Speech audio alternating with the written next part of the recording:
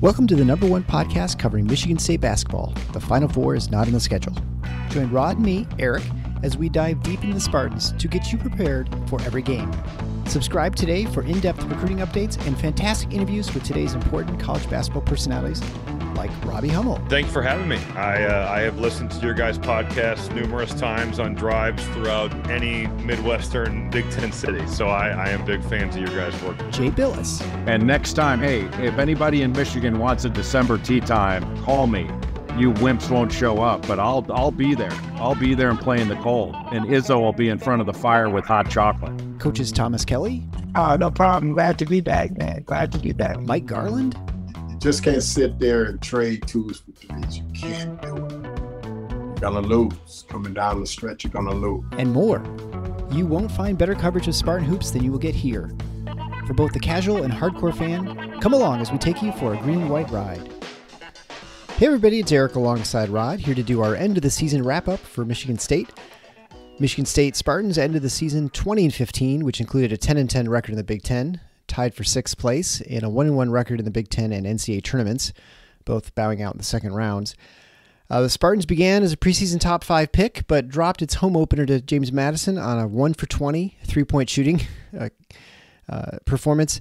The shooting slump eventually ended, but after a couple of close losses to Duke and Arizona, followed by a disastrous 0 2 start in the Big Ten, uh, Michigan State was reeling, in desperate need for a win, facing top rated Baylor, and things looked grim.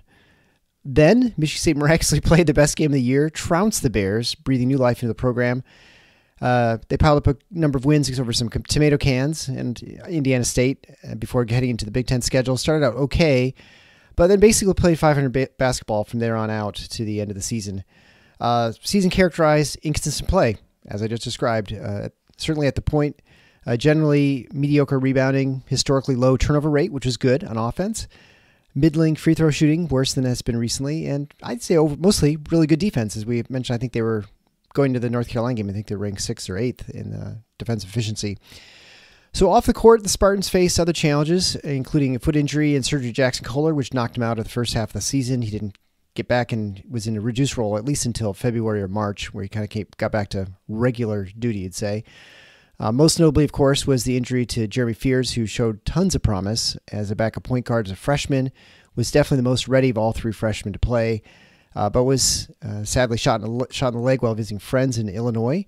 Had to have emergency surgery to remove the bullet, uh, and was just never able to recover from the surgery in, a, in enough time to uh, have any sort of ability to play this season. But by all reports, seems to be recovering well and physically will be ready to go as next year, but you know we'll have to wait to see how he does. But you know, the season wasn't all downer. there was a very special moment happened at the end of the Rutgers game, which I think many remember was uh, where grad student Steven Izzo scored his first bucket and an and one to re- record his first and only collegiate points in front of the Izzo alumni. And so there were some really great moments, but as I mentioned, they were 20 and 15, and so far too often, Rod, we had to come here after a loss and sort of diagnose what had happened and oftentimes the explanations were pretty similar to from game to game. Yeah, it was um, a, a, frustrating season to say the least, and of course that that's the case in large part because expectations were so high. But you know, it should be noted this isn't the first time that this has happened. In fact, it's the third time that this has happened in the Tom Izzo era. The 2005 2006 team mm-hmm. is uh, was coming off a Final Four and returned Paul Davis, Shannon Brown, and Mo Ager, not to mention Drew Neitzel, uh, yeah. from a team that had been to the Final Four a year prior, right? Mm-hmm. Um, then you go to the 2010 2011 team a team that had been to two consecutive Final Fours and had the likes of Kalin Lucas, Durrell Summers, um, Delvon Roe, Draymond Green. Yep. Um, for a while, at least, Korie Lucious and Chris Allen, um, and others all back. Um, and both of those teams actually went out the first round of the tournament. So this one maybe he had a slightly worse regular season than those two teams did, but this one actually won a game in the tournament right before losing. Um, those teams both were bounced you know, by George Mason and then by uh, by UCLA, uh, respectively. So it, it's not the first time that it's happened, but it's been a long time. It's been you know basically 13 years since we've had a season like this where the the preseason buildup was so high, and the reality during the course of the year was very very difficult. Yeah. Um, I would note that in both instances, the program bounced back rather nicely from that. Uh, the first go around, they were back in the Final Four three years later. Um, the second time uh, was the next year, they were a one seed Mhm. and won a Yeah. Big Ten regular season and tournament title. So it is possible. We've seen it before with this program. So that's the silver lining for those who wish to be optimists. Um, we've seen it turn around, and and I'll, I'll note in both of those instances, the year after the failure, pessimism was very high, very yeah. high, partic- particularly the 0607 Yeah. because that was that was Drew Neitzel and you know uh, a recruiting class that was considered solid but not world beating. Raymar Morgan was the high the highlight guy. The other two members of the class were not expected to be huge stars. And then beyond that, you know, you had Travis Walt, and then you had a bunch of guys, Goran Suton, Drew Naymick, um, who hadn't really proven themselves yet. Mhm. you know? Yeah. and that team carved out an NCAA tournament berth. They beat a number one ranked Wisconsin team during the regular season. They won a game in the tournament, um, you know, before losing to North Carolina. Uh, if that sounds familiar. that story. um, but uh, I guess I'm just saying, and we all know what happened with the team in Draymond Green's senior year. So it, it is possible to have that kind of turnaround, even when expectations are muted. And, you know, we're, it remains to be seen what this team is even going to look like next year. I mean, as we're Yeah. recording this on, you know, Tuesday, what is it, Tuesday the 26th? 26th of March. Yeah. Yeah. Mhm. Um, I think at the moment, and I'll check Twitter just to make sure my momentary update is correct.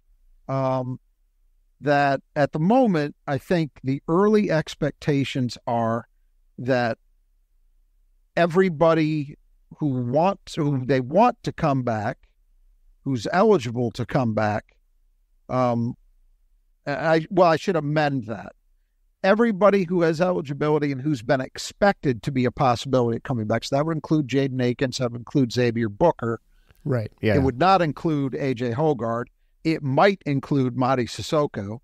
Um, Is right now expected to be back, particularly with Akins and Booker. I think those are the two that people were um, the most concerned about. And so for right now, that appears to be the case. But what's going to actually happen when portal season closes?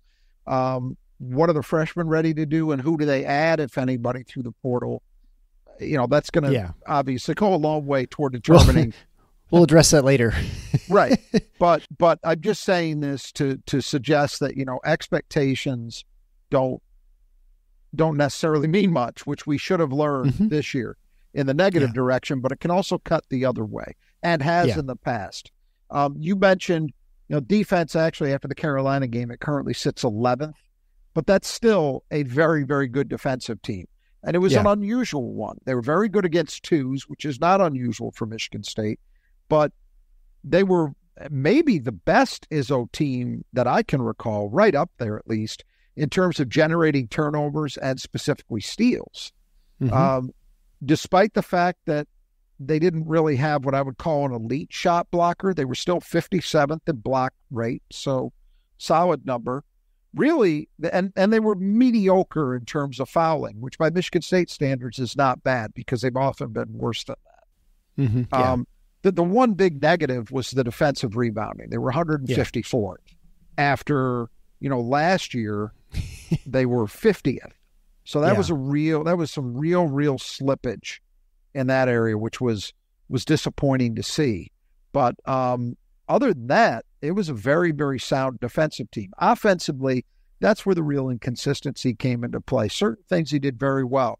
You mentioned that horrible strain at the beginning of the season shooting threes, but they ended up better than 36%, which is currently good for 44th in the nation. So, pretty good three point shooting team. Not quite as good as a year ago, but pretty good. It was not a weakness. I think people had trouble, uh, and it's fair to say that they were streaky at times, particularly later in the year. There Yeah. would be a brilliant shooting game followed by a poor one, followed by a brilliant one, and so on. Um, and and we definitely did see some of that, but you know it, it's hard to knock that that shooting over the course of a full season. Um, they did a great job, as you said, valuing the ball. By far the best turnover uh, rate of the Izzo era. Um, did a great job there. Um, but they didn't rebound offensively the way Michigan State teams typically do. They didn't get to the line a lot, which is not that unusual for Michigan State, but what was unusual is they didn't shoot it well when they did get there.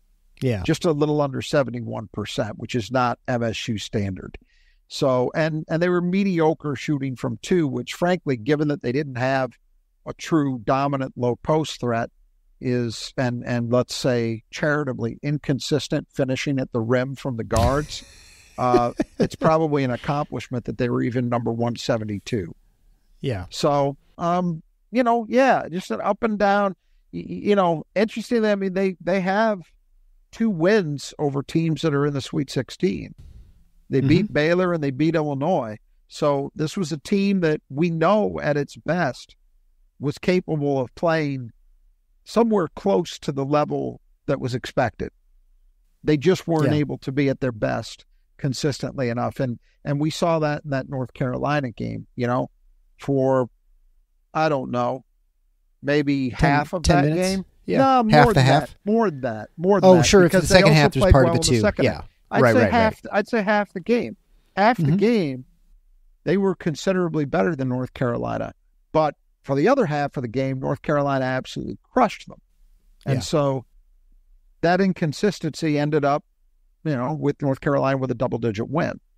And um, yeah, that was just kind of the sto- it was a microcosm of the season in a lot of ways.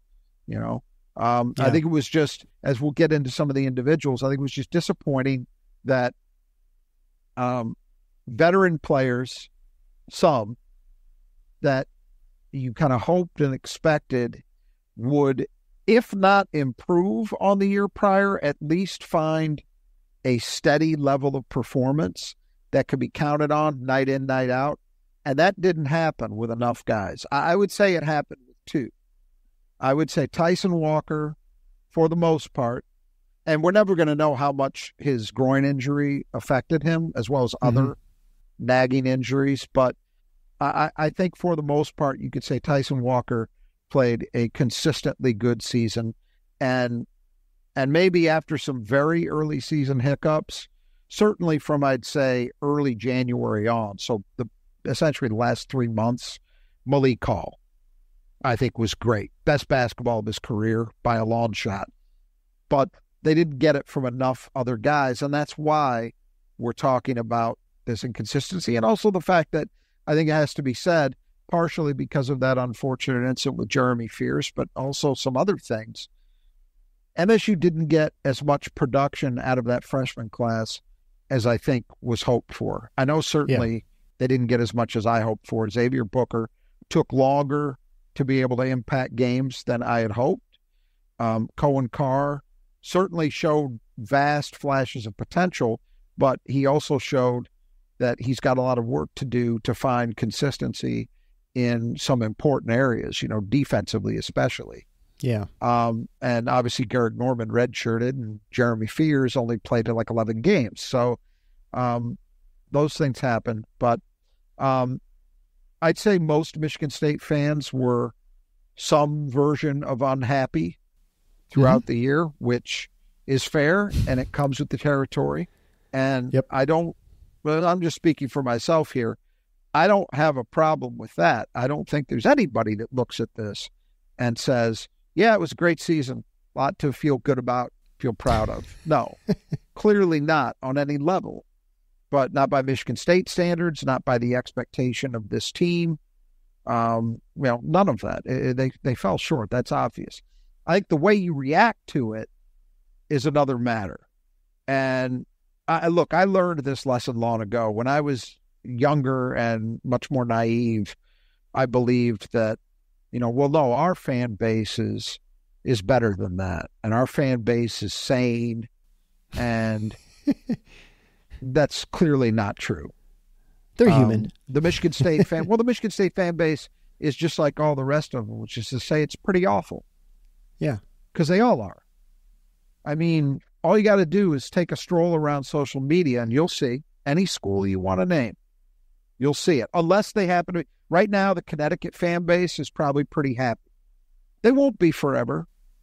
Yeah, right. You know, every everybody goes through this stuff, and right now it's it's Michigan State's turn. Um, again, I learned this lesson a long time ago, so th- this doesn't surprise me.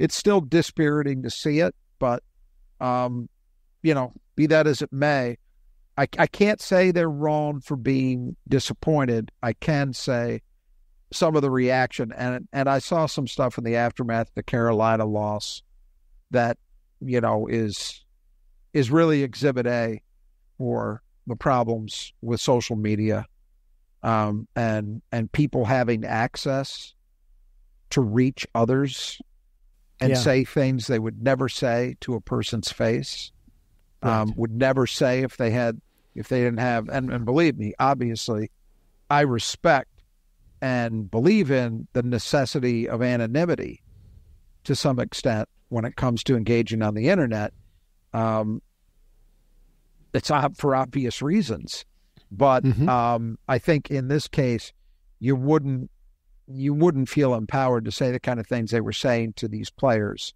um, if if that wasn't there so disappointing yeah. to see that, not surprising. Just kind of the cherry on top to an all around not so great experience for the last few months with um, with Michigan State basketball, which we're you know we don't get very often in the last quarter century. So um, disappointing, but sometimes that's how it goes. Yeah, and I and I'd even mention, of course, the most obvious good and really good outcome was the streak in the NCAA tournament continued, and uh, I know there were plenty of people. Okay, so I'll take back that up. There were some people, and these may be anonymous Twitter trolls or whatever, uh, who were talking about, you know, maybe the best thing to happen is to miss the tournament and to yeah. wake people yeah. up and and of course there's no advantage to that like there's in like in professional sports where tanking a season improves your draft opportunities things like that and i think once we got close to the point where there's a yeah, there's a distinct possibility. Certainly on Sunday, I was sweating a little bit during Selection Sunday. Uh, it w- it seemed like, like, a complete disaster to not make the NCAA tournament. I mean, you saw the implications of it, and there were there are no points looking at that and saying there. Yeah, I, well, I mean, yeah, it's obvious, right? But it, there's there's nothing. There's no scenario where you say, well, this is there could be some good that comes out of this. I just could not imagine any sort of good no. that comes out of Here, this tournament. The, well, but here's the fantasy. The the fantastical part of that reasoning is, well, if they don't make the NCAA tournament, that'll that'll force Izzo right, to make what, whatever yeah. whatever change that particular idiot feels exactly yeah, is yeah, yeah. Is necessary in the way he runs his program. And the fact of the matter is, you know, that wouldn't have happened. And it's not going to happen now. I, you know, it's funny, and we'll just take half a second to speak on this since we're doing our season ender here. Um, you know, Izzo gave a relatively emotional uh, response at the end of the North Carolina game to uh, assemble, I think it was mostly local media. And it wasn't the formal press conference, it was in the hallway outside the locker room. And mm-hmm. one of the things he said was, you know, I'm going to get us back to making longer runs in the tournament or die trying. Yeah. Okay. So the way a lot of people uh, from what I can tell, read that was, well, Izzo's going to embrace the portal now, and there's no there's no safety on the roster. You know, if you're not committed enough, you're not good enough. See you later. Next. And I listened. I actually watched the entirety of what he said, and to me, this is only my read, but to me, what he seemed to mostly be getting at is internal elements of how he runs his program. So he has talked often in the last few years about how he's gotten soft. Mm-hmm. But I think there's probably some truth to that. I don't think he treats, uh, he coaches in exactly the same way he did 25 years ago. I mean, I've been told that by people that would know Yeah. that he's not the same guy. You know, they tell, oh, this guy is just stuck in his stubborn, my favorite word, stubborn. And the reality is, no, he's adjusted. But I think what he was saying, my interpretation of what he was saying is, hey, this hasn't worked. So I'm going to get back to being a guy who's a little harder and whose expectations for these kids once they're in the program is that he that it's conducted kind of in an old school way again. That's how I read it, and I and I I drew that based on the totality of the things he was talking about. He was also talking about the effect of social media, one of his favorite hobby horses. But of course, you know the critics, the people who like to um, focus on one soundbite from the entirety of what he says and paint him as this old codger who doesn't want to get with the times, and frankly ignore the fact that most of what he's focused on is unquestionably objectively correct.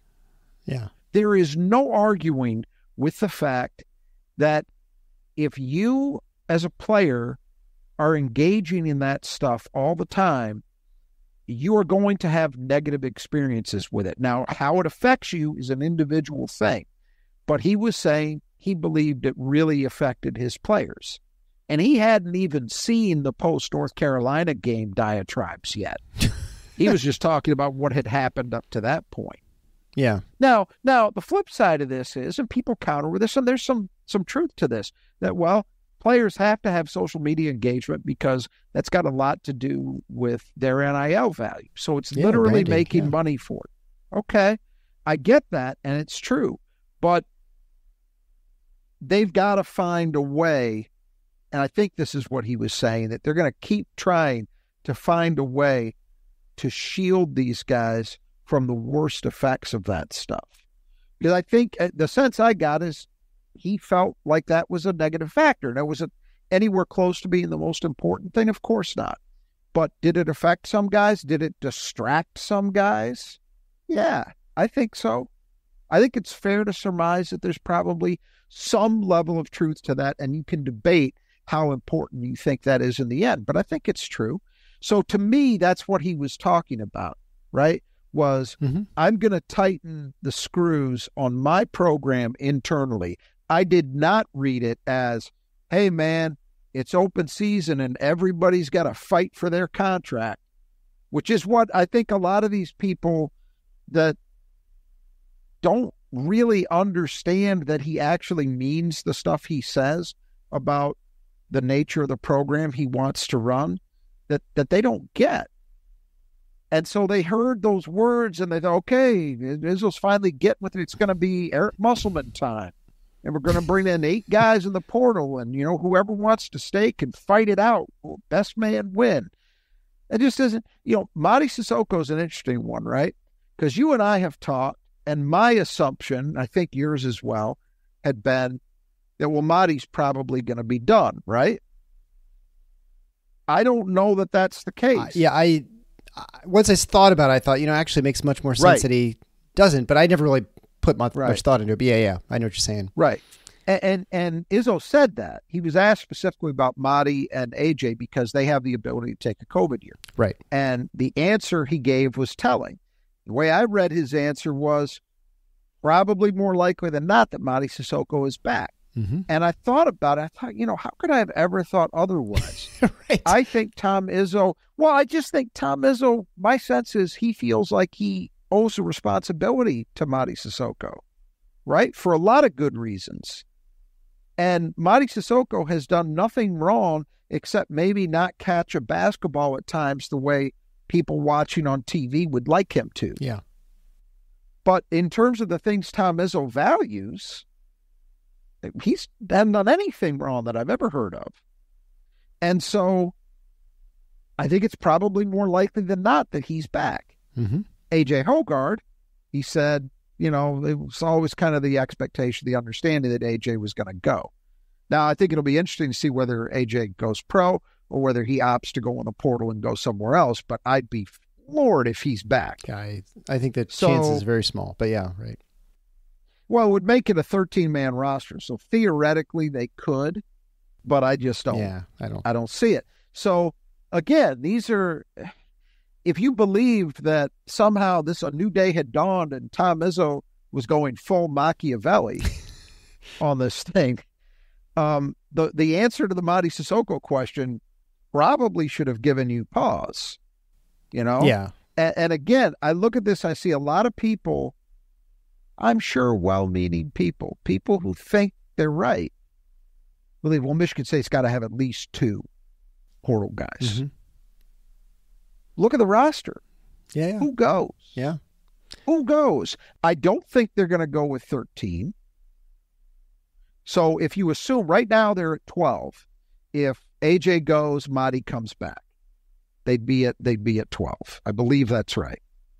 Um, so who goes? Normally, the candidates for the portal are going to be guys who have been in your program at least for a little while, who have had their chance and it just hasn't panned out. Um, that's normally the equation, right? But look at look at the veterans. So, do they want to recruit over Tre Holloman? No. Do they want to recruit over Jaden Akins? No. Uh, do they want to recruit over Coen Carr? No. Xavier Booker? No. Right. Um, and then beyond that, you're talking about Gehrig Normand and Jeremy Fears, who didn't play or didn't play much. They're not going to recruit over them, and they're not going to recruit over the three incoming freshmen. So it really means you're talking, and if Mady is coming back, then you're really down to the two guys who just finished their sophomore year at center, Jaxon Kohler and Carson Cooper. Those are your oh, and they're not going to recruit over Jer, um, um, Jeremy Fears, obviously. Jesse Jesse Or McCulloch. Jesse McCulloch. Yeah, right. I mentioned Fears, Jesse McCulloch either. He's an incoming freshman. So it's really two guys are your only candidates. Now, I do think it's possible, I might even say probable, that at least one of those two guys might well leave. And you're talking But about two guys. You're talking about or, or, or Cooper. And Cooper. Yeah. And Cooper. They're the only guys who fit that profile. Yeah. Right? Where they've had two years in the program, you could say, well, we got to get better at this position. So we intend to bring somebody in. And if we do, the minutes just aren't going to be there for you. Mm-hmm. They could do that, but that's it. So this idea that there's going to be these wholesale changes, not unless somebody opts to leave. You know, if Jaden Akins decides he wants to go somewhere else, okay, then you're then you're talking about bringing in somebody to take that spot. Yeah. But short of that, I just so I think this this belief in parts of the fan base that there's going to be this sea change. I don't see it, man. I think what Tom Izzo's talking about is I want to get back to the program that I've operated and the way I've operated it for most of my career. I've tried it this other way. It's not working for me. It's not working for the kids. And we're going to get a little tougher. And I think he's, I think he probably also thinks that, and I, this is supposition on my part, but let's call it at least slightly educated supposition. Um, I think he thinks he's got a group of players who, especially at a key position, are better equipped to handle that. Sure. I think he can probably coach Jeremy Fears and Tre Holloman, and I would venture to say probably Jace Richardson too, about as hard as he wants, and it'll be fine. Yeah. Yeah. I don't know that that was the case with this team. yeah, I think that they that's that probably just accurate. finished its season. And I think this just So, goes anyway. This just goes to the to show. I think, um, you know, uh, we're obviously very pro MSU. We're supportive of Tom Izzo, generally speaking, because of his track record. I mean, if your floor as a program is making the NCAA tournament, and you, Yeah. you know, I mean, that's a pretty damn good floor. I mean, if you look, if you think about it, everyone is you know touting all these new ways of running programs like Jer- uh, what's his name, Jeremy Tang or whatever at Kansas State. Well, they didn't make the Jerome tournament. Tang, Jerome Tang. yeah. They didn't make the tournament this year, right? They had all the tr- the transfers last year. They were you know, amazing. This year, nothing. Uh, It doesn't mean that you can't, you know, and and again, it doesn't mean you can't win different ways. There, of course, as Right. many different ways to win and have a successful program as there are people in the world, right? And this, that's you know, th- there's no right formula. The landscape's always changing, uh, and I think to there's no one who could be uh, have a floor of making the NCAA tournament who is not willing to adapt and to change to the way trends are in either the game or the landscape as far as like players or how recruiting works or NIL, all this sort of thing. And so I think the the stubborn sort of label that's thrown around, I think is unfair. I mean, I think you know, you could there he certainly has many traits. I think loyalty might be a better trait. There may be some uh, you know, if you're 40 and saying things he says, you're not called stubborn, you're called other things, but it's it's not any different, right? You see other people say the same things, complaining about social media, complaining about uh, you know, the portal, et cetera, et cetera. Uh, and I certainly don't think is infallible. And I'm sure, you know, if you could get him, and I don't think he publicly would ever say, you know, did he think he misevaluated his team going into the season? Would he have done things differently? As you mentioned, he's already said he's already gone through the self-evaluation phrase. You know, not only he's going to go through his himself and the staff, then he's going to go through the players, and they're going to talk about you know what they're going to do differently next year. I don't think there's any yep. question about that. And and the the notion that he's unwilling to do certain things that are required to win in today's modern game is, I think, silly. Uh, I think there's certain things in fundamentals and principles that he'll maintain, whether that's on defensive or offensive principles. Uh, but I think we've seen those change too, and we've seen you know he's doubling more. Let's say you know they're on defense. It's different. It's a different way Absolutely. of playing, right? And so the, to to sort of you know label him as a guy who's unwilling to change and like you know a, a rock in the ocean uh, is I think silly, and it's and and I do think I know we've talked about a couple times this season. I think the the large problem this season was is not only did you have very high expectations for the season, I think for good reason. But you know, maybe we overestimated what the, the steps that players would make. Uh, but certainly the fact that the football program not only fell apart, but it was a complete scandal and just you know completely disintegrated in the way it sort of fell apart this year. And then there was the anticipation. Well, at least we got basketball, and then that was you know started out with a loss of James Madison, one for twenty shooting, all these kind of problems that were totally unexpected. Uh, I think that just fed into this sort of bad sort of stew and then you throw in social media and the ability for people to kind of you know develop narratives and have ideas for how they can fix things uh, anyway. So i think that all sort of feeds into to a bad maelstrom of negativity. And that's the team yeah. and that the, it's just been unable to, to escape that in sort of the general sort of you know whatever the the but i think but i do think that the team itself uh, to their credit did not like to fall apart. And and I feel like one of those teams you mentioned, I think the one of Durrell Summers was at 12, yes. 13. That team sort of like was not good, a good team. Like they had all kinds of internal strife, I think, at the time. Yep. And they just didn't yeah, play well together. So that was not an issue with this team, which is, you know, to their credit, they kind of, you know, circle the wagons a little bit. I think they just, they maybe didn't have the best leadership in the locker room in general, like just people who could handle sort of these sorts of situations, but they at least stayed together as a team, which, you know, some credit to them here here's here's the thing. So when you look at next year, if if you're just talking about the guys that are currently on the roster that we think will be back, you are you are talking about a very young group. Yes. So seven seven out of twelve guys would be sophomores or freshmen. Okay, mm-hmm. and then your veterans are guys like you know, Jaden Akins, one senior, Sissoko, and one grad pro. right. yeah. Ja- Jaxon Kohler, Carson Cooper, Tre Holloman. Yeah. Of that group, the only guy that I think has innate leadership, inclination, ability, however you want to term it, is Tre Holloman. Yeah, I agree.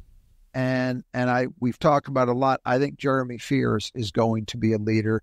I think it'll be interesting to see the freshmen that come in um, I think just the little bit that I know about him, I wouldn't be surprised to see Jace Richardson have kind of a forceful presence for this program going forward. But the the thing that's good about this is the path is cleared for younger guys.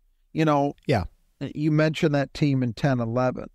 Well, that team had a junior year Draymond Green, and you would say, well, that's one of the best leaders Michigan State basketball's ever had. And yet we were talking about that team absolutely falling apart. Well, how could that happen? Part of the reason it happens is in college, it's a very hierarchical thing, and it's very difficult for a younger guy, even one who has innate leadership traits, to assert themselves fully when there are older guys around right who aren't going to let that happen. It's not even done out of malevolence. It's just how it is. Mhm. You know, That- that's not going to be a problem next year. Yeah.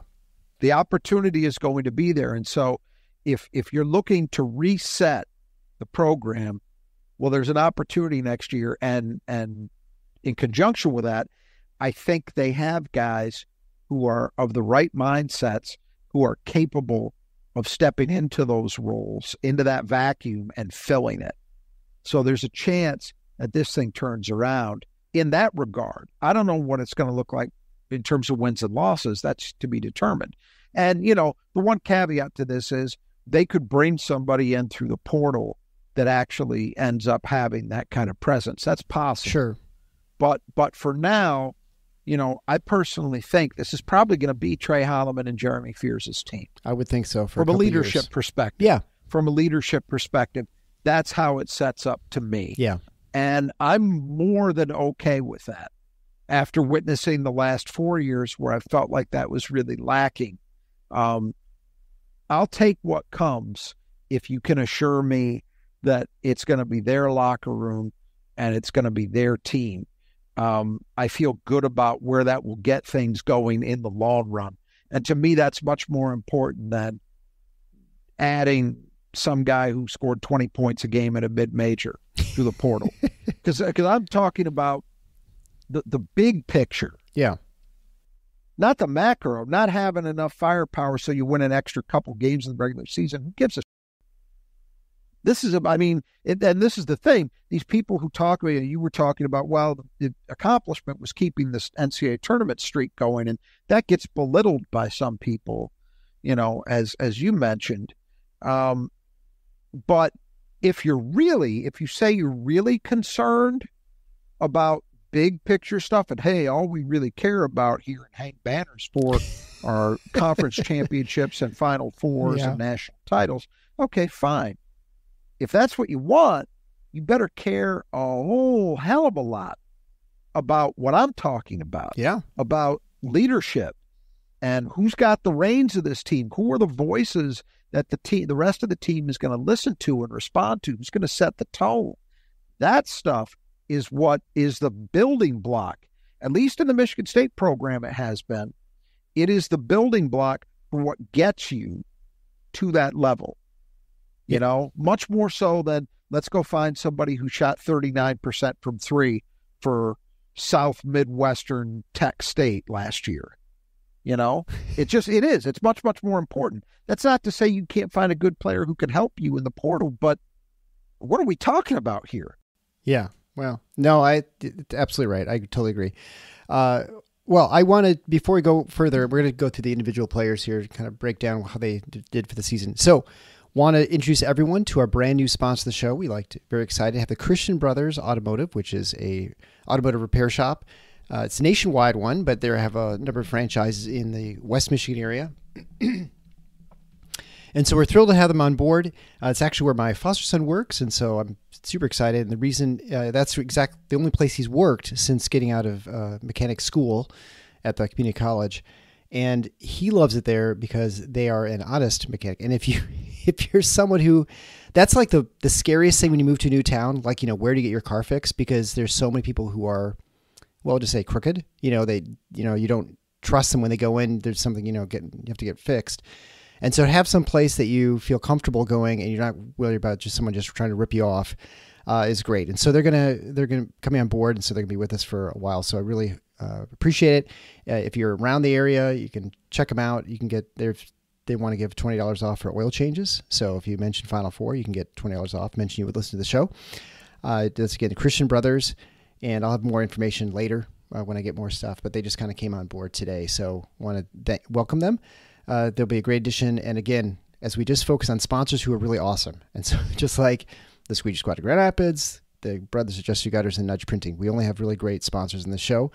Things that we believe in, products we use, because you know, frankly, that's who I want to make sure is uh, I want to promote. I don't want to promote stuff that people I don't like or I'm unwilling to use. And I know you feel the same way, Rod.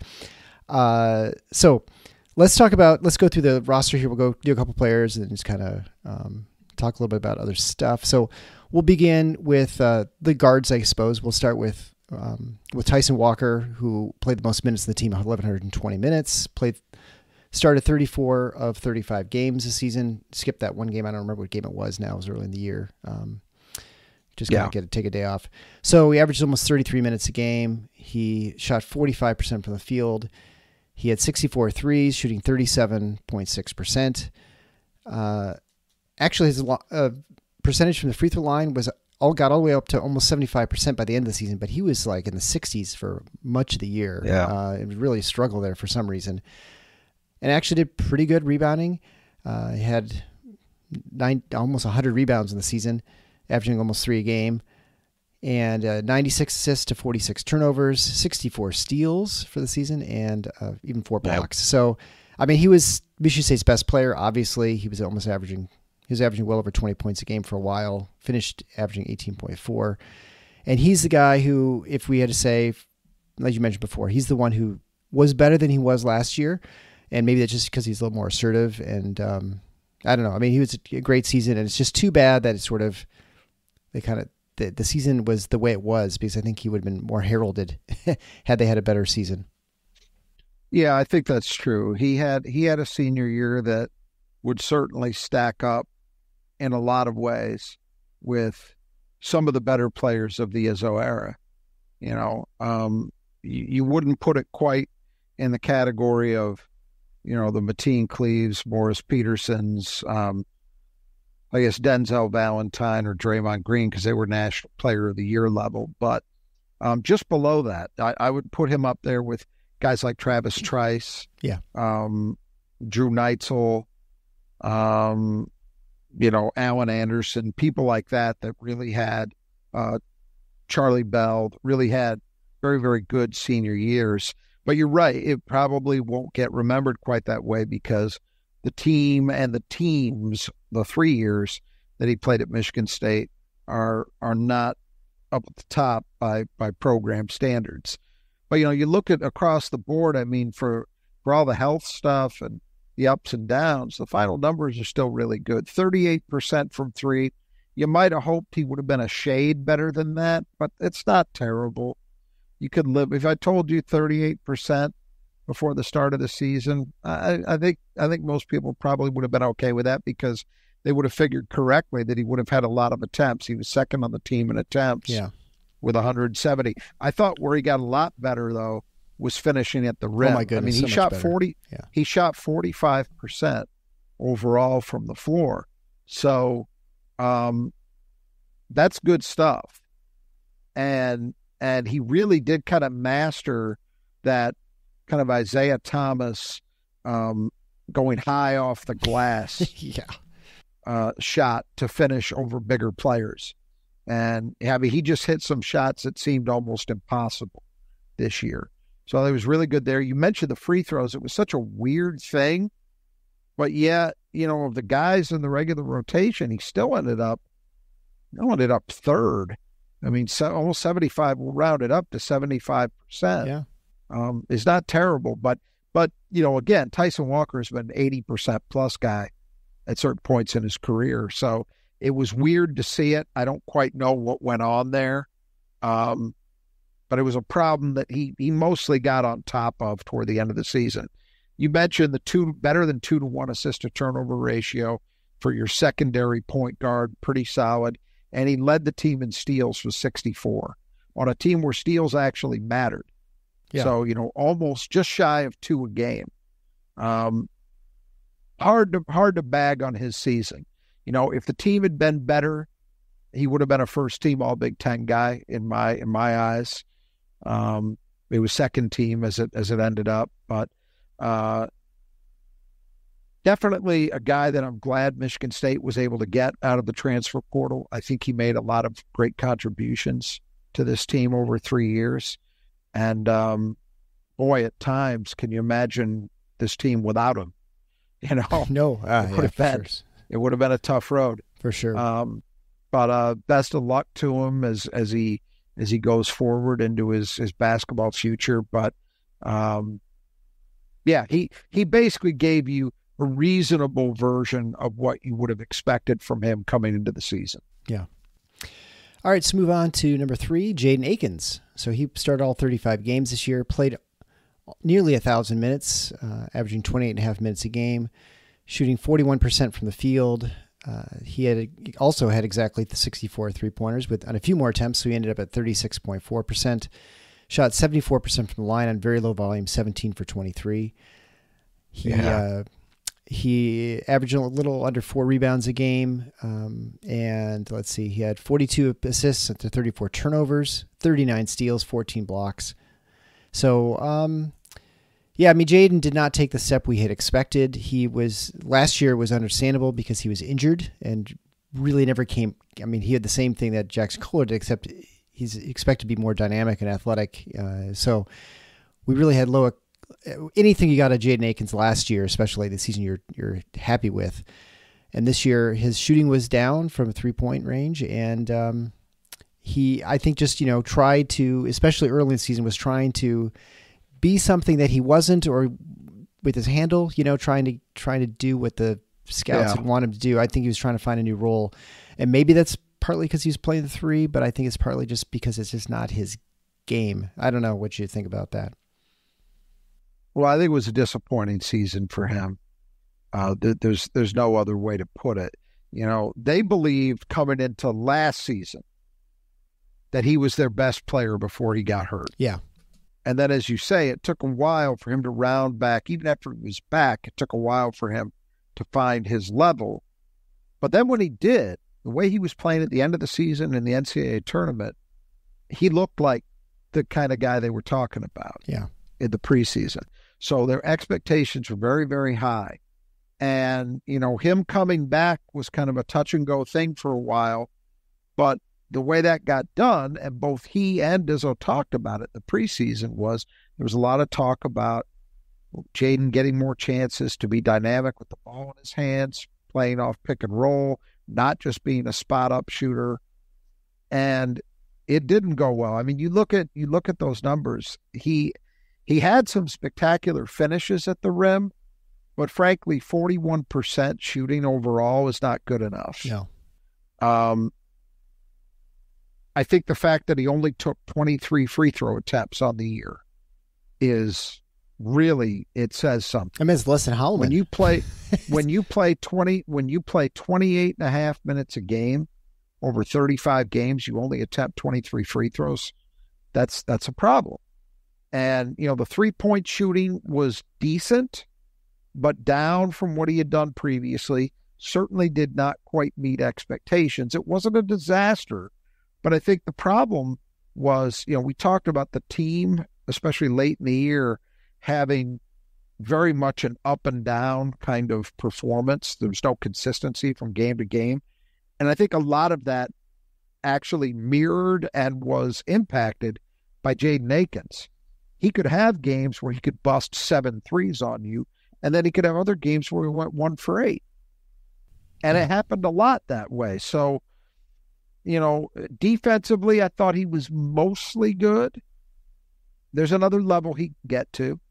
And the rebounding, you know, 3.9 rebounds a game doesn't look terrible, but I expected more there too. Yeah. So, um, you know, and only, I mean, he did end up, what did he end up? I guess he ended up fourth on the team in offensive rebounding, and it was behind Malik Hall and two centers. So, you know, not terrible there. But again, he's a guy who I think has as much potential as a rebounder as any perimeter guy they've had since Charlie Bell. Any any guy you'd call a guard at least. Yeah. Since Charlie Bell. So 3.9 a game fourth on the team in offensive rebounding, that comes up a little short too. As I say, plenty of time for things to change. At the moment, it seems like there's an inclination that he will be back. And I think there's a suspicion that they may move him into the role that Tyson Walker had, which would be more of what we were talking about, where he's asked to be a little more dynamic. Now, as you mentioned, the question is is that really in his best interest and the team's best interest? I think that's a fair question because we did not see the development in terms of his ability to utilize the dribble to get opportunities for himself. We just did not see that happen. Now, you could say, well, that's usage, but I don't think that was entirely it. I think there was an attempt to let him try to do that, and it didn't work out very well. Yeah. Does that change with another offseason? I don't know. Um, but I do know that I would rather have him back than not. I know that much because I still think there's a very, very good basketball player inside of Jaden Akins. Yeah. And I think he's got a chance to make good on that as a senior.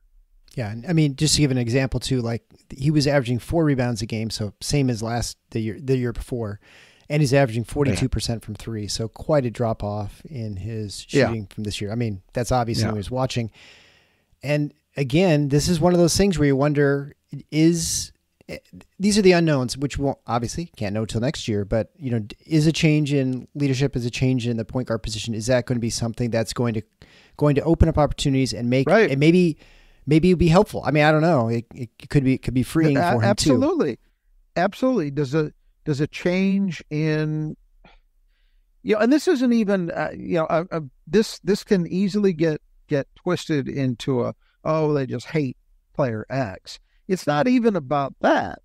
It you know, like I don't I don't have any indication that Draymond Green hated Kalin Lucas and Durrell Summers. But it's very clear those guys needed to leave for him to step up right into being the play. It was just crystal clear. Yeah. That had to happen. Cassius Winston really needed, I would say, not just the lottery picks, Miles Bridges and Jaren Jackson, but I would say even early that next year, he hadn't quite become no. the super the college superstar he became until Josh Langford and Nick Ward went out with injuries. Yeah, he had to. And now then, yeah. they didn't have any they didn't have any problems at all with those guys. He didn't, but it was just the space was no longer occupied. So sometimes that is what has to happen. Is it possible that the space that even somebody like Tyson Walker, who I think was a very unselfish player, not a problem at all. You'd love to have him every day of the week playing for you, but might his absence be something that allows Jaden Akins to grow and fill that void in ways that we didn't see this year? Yeah, maybe. We'll see. Well, let's move on to the player in question here as far as the Michigan State's point guard, AJ Hoggard, who started 34 of 35 games, played a little over 1,000 minutes, so he averaged 28.7 point, uh, minutes a game. He shot 40, a little under 41% for the from the the field, 25 of 72 for three, so for almost 35%. Uh, he was almost 79% from the line, so very good, just like it was the year before. And uh, let's see, three a little over three rebounds a game, 183 assists to 64 turnovers, so about a three to three to one assist to turnover ratio. Almost three to one. Yeah, 50 yeah. Turn, 50 steals, 11 blocks. He was second in the team in steals. So statistically, I mean, in many ways, you're like pretty good um, especially the the steals. But as we know, watching on the, the product of the court, and I, you know, I don't want to be a guy who bags AJ Hoggard, and that's not the point. We've certainly talked about plenty this season. We don't need to talk about it too much, but I think you know it. These these numbers belie certain games where he's very very good, and other games when he's not. Yep. Where he shoots forty some games he shoots 65, 70%, and other games he's shooting 20. And, you know, like the North Carolina right. game is a great example, one for 10 from the field. Uh, we're just missing layups. And you watch the guy and you've seen him play exceptional basketball, like unstoppable as from a point guard position. And in other games, just not. And it's just baffling. And I'm sure Izzo has two or three extra gray hairs after the last few years with AJ trying well, to get him to perform the way he thinks he can there were a couple of quotes about AJ Hoggard in the last couple weeks of his MSU career, what I'm assuming is the end of his career. Um, that I think really laid it all out. Izzo made a comment about guys not practicing shots they actually take in the game. So, what does that mean? Well, I think in this case, it means AJ wasn't working on the shots he tends to get in games, which a lot of them are at the rim. Yeah. And his ability to finish this year was not where it needed to be, to put it mildly. For a guy who plays the offensive game AJ Hoggard does, to shoot a little under 41% is not great. And that three point number looks pretty healthy. If I told you before the season, oh, he shoots 35%. I've been pretty happy with that. Well, yeah. it's pretty good. And and that number came on late. He got better late in the year. Early Yes. on, he was struggling. He got better. But you look at it, he only took 72. That's he basically attempted two threes a game. So while that number is fine and it represents improvement, he wasn't taking enough of those. He didn't even average one made three a game. He wasn't taking enough of them to where that was a major impact. Yeah. So you you need if you're looking at him, you need to look at the two point shooting, and it wasn't good enough. You know the assist to turnover numbers look fine, but as you say, there were games where he was spectacular, and there were games where he really struggled. And I would also say the thing that's not accounted for at all in the focus on the counting numbers is his defense. Right. When AJ Hoggard is locked in, AJ Hoggard is capable of being a very good collegiate defender. There is no doubt about that. Was he locked in consistently this season? Absolutely not. no. Absolutely not. And I think that you're also missing the point if you don't talk about the, the other things that aren't measured by counting numbers. So, intangibles, leadership, uh, body language, the way you interact with teammates. Um, you can be, obviously, because we've had lots of examples of this program, you can be a fiery leader and be effective. You can be a guy that gets after teammates and be effective. But if you're going to do that, you need to have accountability. You know, Draymond Green could do that stuff because he held himself accountable for his own performance, right? Mm-hmm. Mateen Cleaves absolutely was that kind of guy. Travis Walton. I mean, I can go down the line of the great leaders this program's had, the guys who were demonstrative and would get in teammates' faces. But you got to be able to back it up. You know, otherwise, people, it's not having the effect you need it to have. And I would argue that that was never the case with him. Yeah. You know, that, that, that stuff was going on for four years. I never saw it change. Not consistently. Might change over the course of a given game, but then it would it would come back up. Yep. We saw it against in the last game of his career. We saw it against North Carolina. So I think those those were the issues. You it AJ Hoggard is sort of a Rorschach test in terms of how you view um, what matters. And his numbers give you enough that if you want to spin it into, well, okay, it wasn't perfect, but that was actually a pretty decent year, you can find some support for that position. Yeah. But I think you've missed the forest for the trees. Yep. Yeah, I think the for me the the things they were telling is uh, after the Butler game, the the way Pierre Brooks reacted in the in the um, Yeah. handshake line Yeah. with AJ. So clearly there was some not good te- teammate sort of whatever you know did not leave well uh, with Pierre Brooks, who from all accounts Yeah. that I can tell, pretty well liked guy on the team and like a pretty nice kid. So it's surprising that that was the case. And at senior night, uh, when Izzo gives a talks about every player, and he just put his hand towards AJ and just said, "AJ." That's all he said, because I think everything has been said at that point between those two. So anyway, Well, and you know, and and and not to just to wrap this up because this is hopefully the last time we'll, we'll have to talk about it. Um, I had this discussion on on the Spartan Mag board, and we all know there were various hobby horses that segments of the fan base got hooked on this year. You know, why didn't you go to the portal to get a five? Not playing Xavier Booker enough. You know, Yeah. all these all these different things. But to me, the the the one major criticism that I have of Tom Izzo in recent years, the only one that I think really truly matters significantly was the recruiting decision he made four years ago at that position. And, you know, I had problems with it when they offered him. I had problems with it after his freshman year. I happen to know after his sophomore year, there was a real internal debate within the program of whether to cut bait with AJ, which they don't do very much. Yeah. You know, we know that. And the decision was made on both sides for him to come back. And then he showed enough as a, you know, I understand it. Once they got into the weeds with it, he would show you just enough Yep. to believe that okay, he's turning. How many times did we say maybe I think he's, he's- turned yeah, the corner? I think he's figured out. I know. I, I can't remember How many times? so when I, I think now the data is in, we can make a conclusion, and the conclusion that I have is they made a mistake, and they paid a price for it.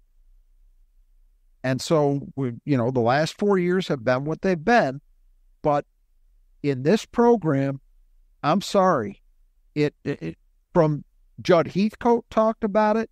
Tom Izzo has talked about it. Fundamentally, Michigan State basketball is a guards program. And because of the nature of the offense that Tom Izzo has run, it's not a motion game. It's not a flex offense. Not these these schemes that don't really prioritize putting the ball in the hands of one player to initiate your offense. It's more of a shared responsibility. That's not Michigan State basketball. It's Right. always been a point guard centric offense. So it matters hugely who your point guard is, disproportionately in this program as compared to some others. And and even more so with the the pressure and the stress that Tom Izzo is going to put on that player. Yeah. And I think there was no more consequential decision. If you were talking about one decision made that impacted in a way no other decision did over the last four years, it was that one. And I I would suspect that was also one of the other things he was referring to when he had that post game chat with reporters after the Carolina loss. Yep. Just my opinion. Certainly could be in there somewhere for sure. Uh, and then oh, I don't I don't doubt it was. Yeah. we'll uh, we'll move on to Tre Holloman, who is a sophomore guard returning. He started two of the 35 games this season, uh, averaged almost 20 minutes a game. Certainly, his his minutes ticked up after the injury to Jeremy Fears.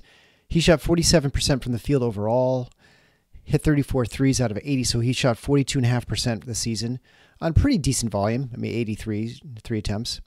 Uh, he was Yeah. 20 for 25 from the line for 80%, so not much of the free throw action. Uh, he averaged a little under about one and a half rebounds a game, 84 assists to 30 turnovers, so a little under three to one. He was at a way mountains higher than that, uh, but Yeah. as soon as he got more usage, that definitely came down a little bit. 21 steals, nine blocks. Without a doubt, he was very improved, and you know there were a number of people coming into the season wondering what his role would be, whether he'd even ever play, if he's going to be the backup to the backup, you know, beh- playing behind uh, Jeremy Fears. Uh, and then he showed that he had a role and that one of them was a, as a shooter, which I thought, I remember Moneyball as a freshman, before the freshman year, I thought, oh, he looked pretty good. And then he just was, I don't know, Mhm. he maybe hit, what, three or four threes all season or something like that. He hardly, it was not part of his game. He was just a guy to take care of the ball. But a guy who definitely exhibited not only um, not only good skills on the basketball court, but I think you know you really saw it emerging late. I think best exemplified in the Big Ten tournament game against Purdue, where I mean this guy is tough as nails. I mean he's standing up to Zach Edey defending Yep. his defending his teammates, Yep. and uh, as you mentioned, this is the this is going to be the new sort of the new one of the new leaders in the in the clubhouse, and so I th- I think they're going to be it's going to be a very different mentality and it's going to be a different sort of attitude on the court. I think going forward, one that is not one of well, one that's more of accountability, let's say, and toughness. Absolutely. Um, look, I think on balance, he had a great sophomore year. I think the the shooting from three is not a mirage because his his stroke looks good, and the results were good. So what is there to argue with? Doesn't mean he's going to shoot forty three percent from three again next year, but I think I think we've seen enough to conclude Tre Holloman is a good shooter. Yes. His two his two point his overall percentage was even better, forty seven percent. Yeah. That was the highest among their guards by a considerable margin. The next highest was Tyson Walker at 45, so a full 2% higher.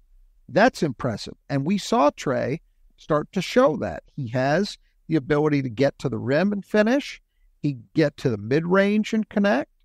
Um, I think he's got the potential to be a varied offensive player. I think he's also got the potential to be an outstanding defensive player. And I think that's the nice thing about Michigan State next year, even aside from the freshmen. If you just look at, again, assuming Akins is back, if you look at Akins and Fears and Holloman as a threesome, there's no defensive slippage No, from this year. In fact, they might even be better I because I think so. they'll be more consistent. yeah, maybe I a think little they'll be more smaller. consistent. I, I think you're you're right to point out that as Tre's usage went up, he had an absurd like five to one assist to turnover ratio going Yeah. early in the year. That came back to earth as they asked more of him, but it's still really good. He finished third on the team in assists, um, behind uh, AJ obviously, and then a little bit behind Tyson with significantly less minutes. Um, but I think he's got I think he's got real potential there too as as uh, your second option at the point. I don't think he'll be the starter there. I think the question is going to be with him next year is is he in an elevated role from this season or is he in a similar role? Meaning, are they starting him? In which case, you're once again very small on the perimeter, and Jaden Akins is still your three man, or do you decide that Jaden Akins moves to the two? You go with somebody bigger, whomever that might be, at the three, whether that's a new player, whether that's, you know, Tang or Coen Carr or Gehrig Normand, and let that guy play the three with a little more size, and have Tre coming off the bench, much as he did this year, playing some point, playing some off ball, and and kind of that all purpose utility role. I think that's a question, but I think regardless of which role he's in, you're going to see even better overall basketball from him because I think he's going to continue to work and continue to grow. And he certainly showed significant potential this year to do those things and to continue to progress. And as you say, I think having him as kind of with the path now cleared to him having a more significant voice is only a good thing. Yeah. So I'm I'm really excited about Tre Holloman. Yeah, me me as well. And yeah, it'll be interesting to see what his usage is. And just because we can't envision what it's going to be, like we this year, we really weren't sure. I think it turned out fine, and I think you know, who knows? He could. There there are definitely roles in Michigan State where you can be the sixth man of the bench, getting almost starters minutes, and be just as important. You know, we saw the Mo Pete, right? I mean, he was the sixth man, but he was like one of the best players in the league. Uh, there've been lots of guys like that. yeah. Um, I, and and here's the other thing too. I would not write off the possibility that Tre Holloman becomes a much more significant scorer for Michigan State than he was this year. He averaged basically six points a game this year. If someone was to tell me that he ends up averaging double digits next year, it wouldn't shock. me. No, I think that's possible because he showed enough variety in his game. Yes, he shot jumpers very well, but it wasn't just that. As you say, he got to the line more than Jaden, averaging, you know, nine minutes a game less playing time. yeah, one third So- less minutes than than Akins Yeah. played. Yeah. That's pretty significant. And I think he's got more of that in him. Yeah, and I and I, think guess as his, his confidence continues to grow. we didn't even talk about it, but certainly when it, it, the break, his his ability to push the ball is really good. His ability to see players up ahead and pass up ahead. Uh, And- he's and got good vision. You know, that's another reason why I think there are elements of Michigan State that could potentially be better next year. Yeah. They were pretty good in transition this year. They're back where they normally are, top 25 in fast break points scored. Holloman was a big part of that, but I think the best guard they had is the next guy we'll Let's talk about him now. Jeremy Fears. only played 12 games. Yeah. Right. 12 games. Didn't start any games. He averaged uh, 15 minutes a game when he was playing. He was shot 50% from the field on very lim- limited volume, 15 for 30. Uh, he's he only hit one three out of six attempts, 11 for 17 from the line for 65%. He averaged a little over two rebounds a game, or no, about two rebounds a game. Uh, 40 assists to 13 turnovers, so three and a half to one or so. Mhm. Uh, assist turnover Right. ratio, 10 Yep. steals, and this again in, in 12 games played, two blocks. Uh, of all the freshmen, there's no question he was the most ready to play. He was, I mean, Yeah. you shot him out of cannon. Within five minutes, my wife turned to me. She, she said, I don't, I don't know who he is, but he's my favorite player now. Uh, just Yeah. because the intensity, the ability, um, well, I, just everything about his game you just like because he plays hard, plays fast. He looks like a guy who, if you were to construct some a, a guard to play for Michigan State, you couldn't construct a better player than Jeremy Fears. Maybe you could make him a little bit Yeah. taller, but outside of that, I mean, he's exactly what you want. And assuming he's recovered from injury too, the athleticism uh, that is Yep. somewhat surprising, you know, because he can really get up and um, he can do some stuff. Yeah, and you know that's going to be the question. He said uh, it was just before the tournament started. Uh, it was the first time he'd spoken, and he said that he's on track by summer. He Mhm. said summer. He expects to be fully back to all basketball-related activities. So that's great news. Um, I don't know if that means the beginning of June, in which case we're only basically a couple months away from that. Um, he looks pretty good. I mean, you've seen him in the warm up lines, right? Yeah, I mean, I would say I. I felt he was limping, uh, but then also uh, some. I, I'll be honest, I don't remember exactly what his gait was, and some guys kind of have like a, you know, like I a, yeah, you know, I'm not yeah. sure. So I think that's I think that's the case. Um, I think he looks pretty good with what I've seen, and so if it's true that he's fully back in June, then you know we'll start to find out. We'll we'll get early indications in Moneyball as to how he looks. But you're right. The the one thing you hope wasn't negatively impacted is the explosion because that was something that I think really um, is something that quietly separates him from a lot of guys. But look, the way the way he played the game, I mean, that 15 for 30 shooting number is outstanding. So basically that means he was 14 of 24 on twos. right, yeah, That's outstanding. And you know, people will talk about, well, can he prove to, you know, be capable of shooting? And that was a knock on his game coming in hmm but I'm not so worried about that. One, I think he will get better as a shooter. I'm convinced of that. Um, I don't see any reason why he shouldn't be at least a decent shooter, and I think he's he has a work ethic and he'll get better at it. But he has got an ability to get himself into the lane that will make him an impact player no matter what. Yeah. It just will. Um, I think he was their best transition guard immediately. I think he has a, a consistency in looking to push. He was defensively. I.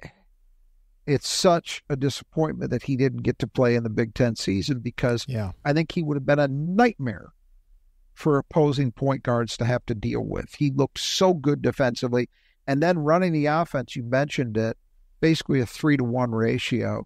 This is a guy. I I think there's a you know it's something we're not used to seeing at Michigan State, but I think with this cast of characters, there's good reason to think that I don't know if they'll be as good in their turnover rate next year, but I don't expect them to be back to the bad old days right. you know, where they really struggled. And he's a big part of that because he's just, he's a nice combination of a guy who is very much a dynamic player who creates chances for others, but yet he's not prone to going for the home run ball all the time, which leads to, can lead to yeah, mistakes. right. I just, I just think he's a great combination of the solid and spectacular. You don't see all the time. Yeah, So, assuming full health, um, I'm incredibly excited to see what he brings next year, and I think he's the guy. He's he's the he's next. Yep. Yeah, and if you want a solid and spectacular, there's no better place to go than the Brothers Jitsu Gutters Rod.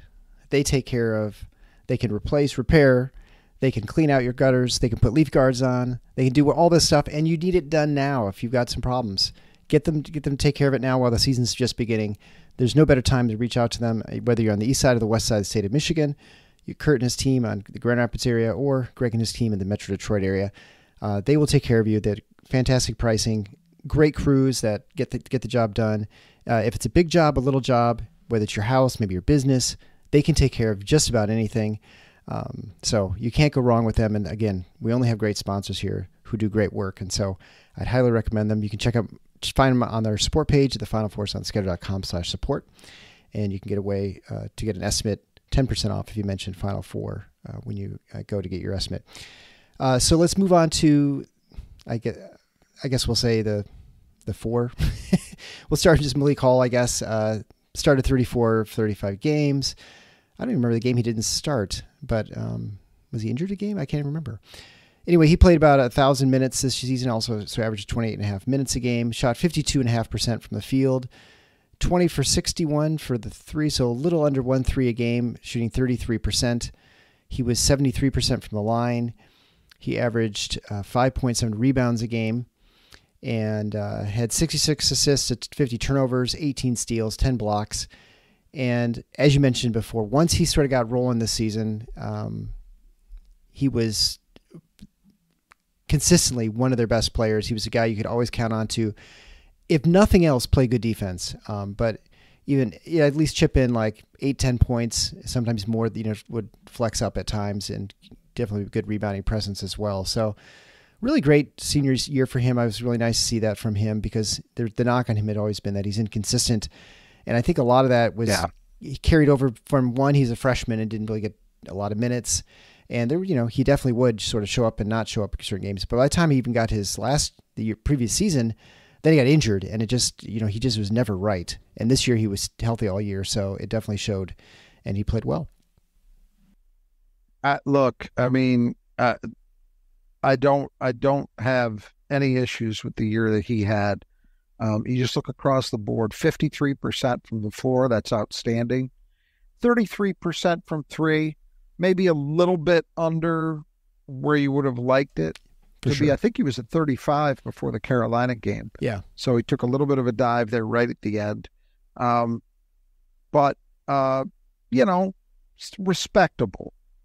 Um, he was a 5.7 rebounds a game, which is decent. It's not spectacular, but over the last half of the season, he was clearly their best rebounder. Uh, he gave them a post presence that they sorely needed. Um, just it was solid defensively. I mean, I think I think Tyson Walker was their best player all the way around, but Malik Hall was probably the guy they had to lean on the most over the last three months, especially. Yeah.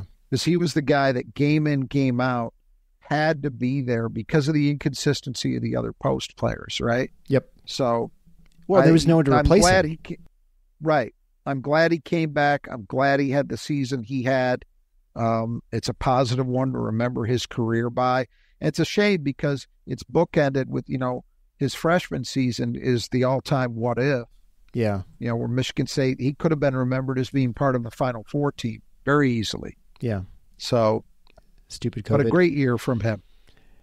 Yeah, and he was definitely the player. If if he had a bad game, the team just had no answers for sort of recovering from right. that. And like when he was bad in Northwestern, right. I mean, they just got run out of the gym because there's you know you could have Tyson could have a day where he can't score real well, which didn't happen too much, but it, you could still find ways to score and, and sort of overcome that. But yeah. Malik had being a hole in there, it was just it was bad news. So yep. uh, the other four was uh, Xavier Booker, freshman, started two games this season. Uh, mostly at the five when he started, he was playing the five. He averaged a little under uh, ten minutes a game, uh, which was mainly late in the season. Shot 44% from the field. He was 33% from three on decent volume for a guy who didn't play a whole lot. 16 for 48 for the year. Didn't get to the line a whole lot, 12 19 for 63%. He averaged uh, 1.7 rebounds a game. He had six assists, seven turnovers, three steals, and 14 blocks. So, in very limited time, he had quite a, a decent presence there as well. And uh, there is no question that um, he was a five star in the sense that, from a skill standpoint, the physical attributes, uh, he was there, except that he was a little uh, I don't want to say small or weak or something, but he definitely needed to put on some weight into to especially once you get to the no, Big Ten. you could say that. You could say that. yeah, that's accurate. Um, and uh, but uh, you can definitely see the great player that's there. Uh, but you can also see why he didn't play right away. I mean, if you're watching him in November, he was 100%. clueless. But I feel like he figured out the I got to play hard, I got to play tough. There's still times you're like, ah, you just got to do, you know, really get in there. But I have a lot of hope expectation for him next year. I think there's Yeah. I mean, I I, too. I expect him to start, and I expect him to be a really good player and really good force in that um, on both ends, actually. And so I, the one the one thing he's got to figure out the defensive end a little bit more, and I, I think much like I feel like the one problem with Jaren Jackson is I think he looked for his three point shot a little too much, and I feel like the same might be said for uh, Xavier Booker. Um, but outside of that, I think he's gonna he's got a really bright future. Yeah, I I agree with a lot of that. Um, you know, it's funny. One of the one of the things that the Michigan State coaching staff has gotten tagged on this year as well, where's where's the development that used to happen in this program? We need Dwayne Stephens. And I get, I, well, and I yeah. Meanwhile, I heard the same thing about him for 15 years, um, and, and it was wrong. You know, and, and I get that. Look, you can you could say that certain guys, you know, AJ Hoggard was basically the same guy for the last three years of his career. They never got over the hump. So some of that, some of that is on the coaches. Some of it's on the player too. But right. um, if we're gonna if we're gonna say that, what about did Tyson Walker get better? Did Malik Hall get better over the course of his careers? I'd say that the answer to that is obvious that they did. Now again, how much do you give the coaching staff credit for that? How much do you give the players? That's always it's tough unless you're right down in the trenches to know the exact answer to that, but we can say it's some of both. Um, I think, despite all the caterwauling about not playing Xavier Booker enough, uh, there's a pretty good argument looking at where he was in November and where he was in that North Carolina game that they made exactly the right call and that he improved substantially over the course of this season. I think there's an argument for that. Now, the problem is the unknown is undefeated. And so we can't know how he would have been Yeah. had he played more earlier, but I can make an educated guess. I think that all the reasons why he was ranked highly were evident, and all the reasons why there were people, and I'll admit to being a little too, I was a little too bullish Yeah. on Booker. I thought he would be ready to do the things he was doing in late February and early March earlier Mm-hmm. and that did not happen. So I'll take the hit on that personally, that I was a little off on that. But there were people, you know, the, the Spartan Mag guys, Jim Comparoni, Paul Konyndyk, I'll give them credit. They were adamant from from last spring that even before that, when Booker was still in high school, they were consistent in saying this is going to be a long road. And a lot of people didn't want to believe that. I I I knew that they had a point with regard to certain things, namely his strength and his motor. Yeah. I just thought that his physical attributes and his skill set would override that stuff a little earlier. It turned out that wasn't the case. Um, but I think what happened in the meantime was he got better in the areas he needed to. He got stronger. Um, he started figuring out how hard he needed to play. He's not all the way there yet, but he started figuring that out. Yep. And doing those things enabled his skill set, his ability to shoot, his length, which I think is going to be a big factor down the line defensively for Michigan State. Um, he's got, I'm not going to say he's quite at the Jaren Jackson level, but man, I think he's going to be hell of a, a weak side defender yeah. his length, just to, you know, not on ball, but to come over on a guy from the weak side and take a shot away. Absolutely. You're going to see that. Now, there are a lot of strides that need to continue to be made. He needs to continue to get stronger. I would argue, particularly his lower body, because I think that's the biggest issue. It's not so much that, you know, sometimes you'll see guys where their upper body's an issue. They get they get to a rebound in traffic and they can't secure it because they're not strong enough in the upper body to do so. They get knocked around and they lose possession of the ball. I didn't see that as a huge problem for No. Book. What I saw was more difficulty in terms of holding position, which is primarily a lower body thing. And so that's got to continue to come. Um, I think his defensive awareness improved significantly during the course of the year. Yep. But he's not all the way there yet. Yep. That's got to continue to improve. And then I would agree with you. I I think that his shot selection was tilted too much toward the perimeter. And it's not that he's not a capable shooter. He obviously is. But, you know, you saw that second basket, so not the three, but the one he scored in Yes, the lane against. Carolina. Yeah, yeah, yeah. That's that's something that he can do. He can face I saw him do it in high school. He could face people up 20 feet from the rim and go by them. And with that praying mantis length that he has, he can finish plays from much further away from the basket than you might think than a normal human being can. You know, that's a weapon that I think you will hopefully see him go to more often. I don't expect that he's ever going to be really a back to the basket post up guy. I just, even if he gets strong enough to do it, I just don't think that's something that's in his game. The best case scenario would be maybe you get a little bit of where they got to with late career Marcus Bingham, where maybe he can do a little bit of that. But I, I, I think him in transition and him on the face up game, kind of similarly to the way we talked about this during the season. Somebody like Coleman Hawkins is able to do that. Somebody like Dawson Garcia is able to do that. Mhm. Yeah. They're able to face guys up and and use the dribble drive to get opportunities. I think Xavier Booker has those elements. So I would expect and hope we'll see more of that. I think the three is always going to be an important part of his game. One, because he can do it. Two, because Michigan State will want to do that. And I think they will look to do that. They will, with him playing more minutes, that pick and pop element that was sort of lacking this year will be back in the, the back in the mix with Yeah. with Booker out there. No question. And I th- and I think too, like the transition or um, the trailing four, you know, at the top of the key. It, that I think Yeah, you're going to see too. that. a- You're going to see a Yeah. lot more of that, and that's the thing that you never saw Yeah, Malik ever look for, and that was a big big part of Joey Hauser's game. absolutely. No, it's it's it's a nice it's certainly a nice weapon to have. I mean, there's no there's no arguing that. But I I think look, it it goes without saying we're, we're just scratching the surface of what Xavier Booker can be. But I think it's very reasonable to think that he could have an explosive growth in terms of the contributions that he makes to Michigan State. Again, assuming that he's still on the team right now. From what I hear, there's not any concern. He said it himself after the North Carolina game that he's coming back.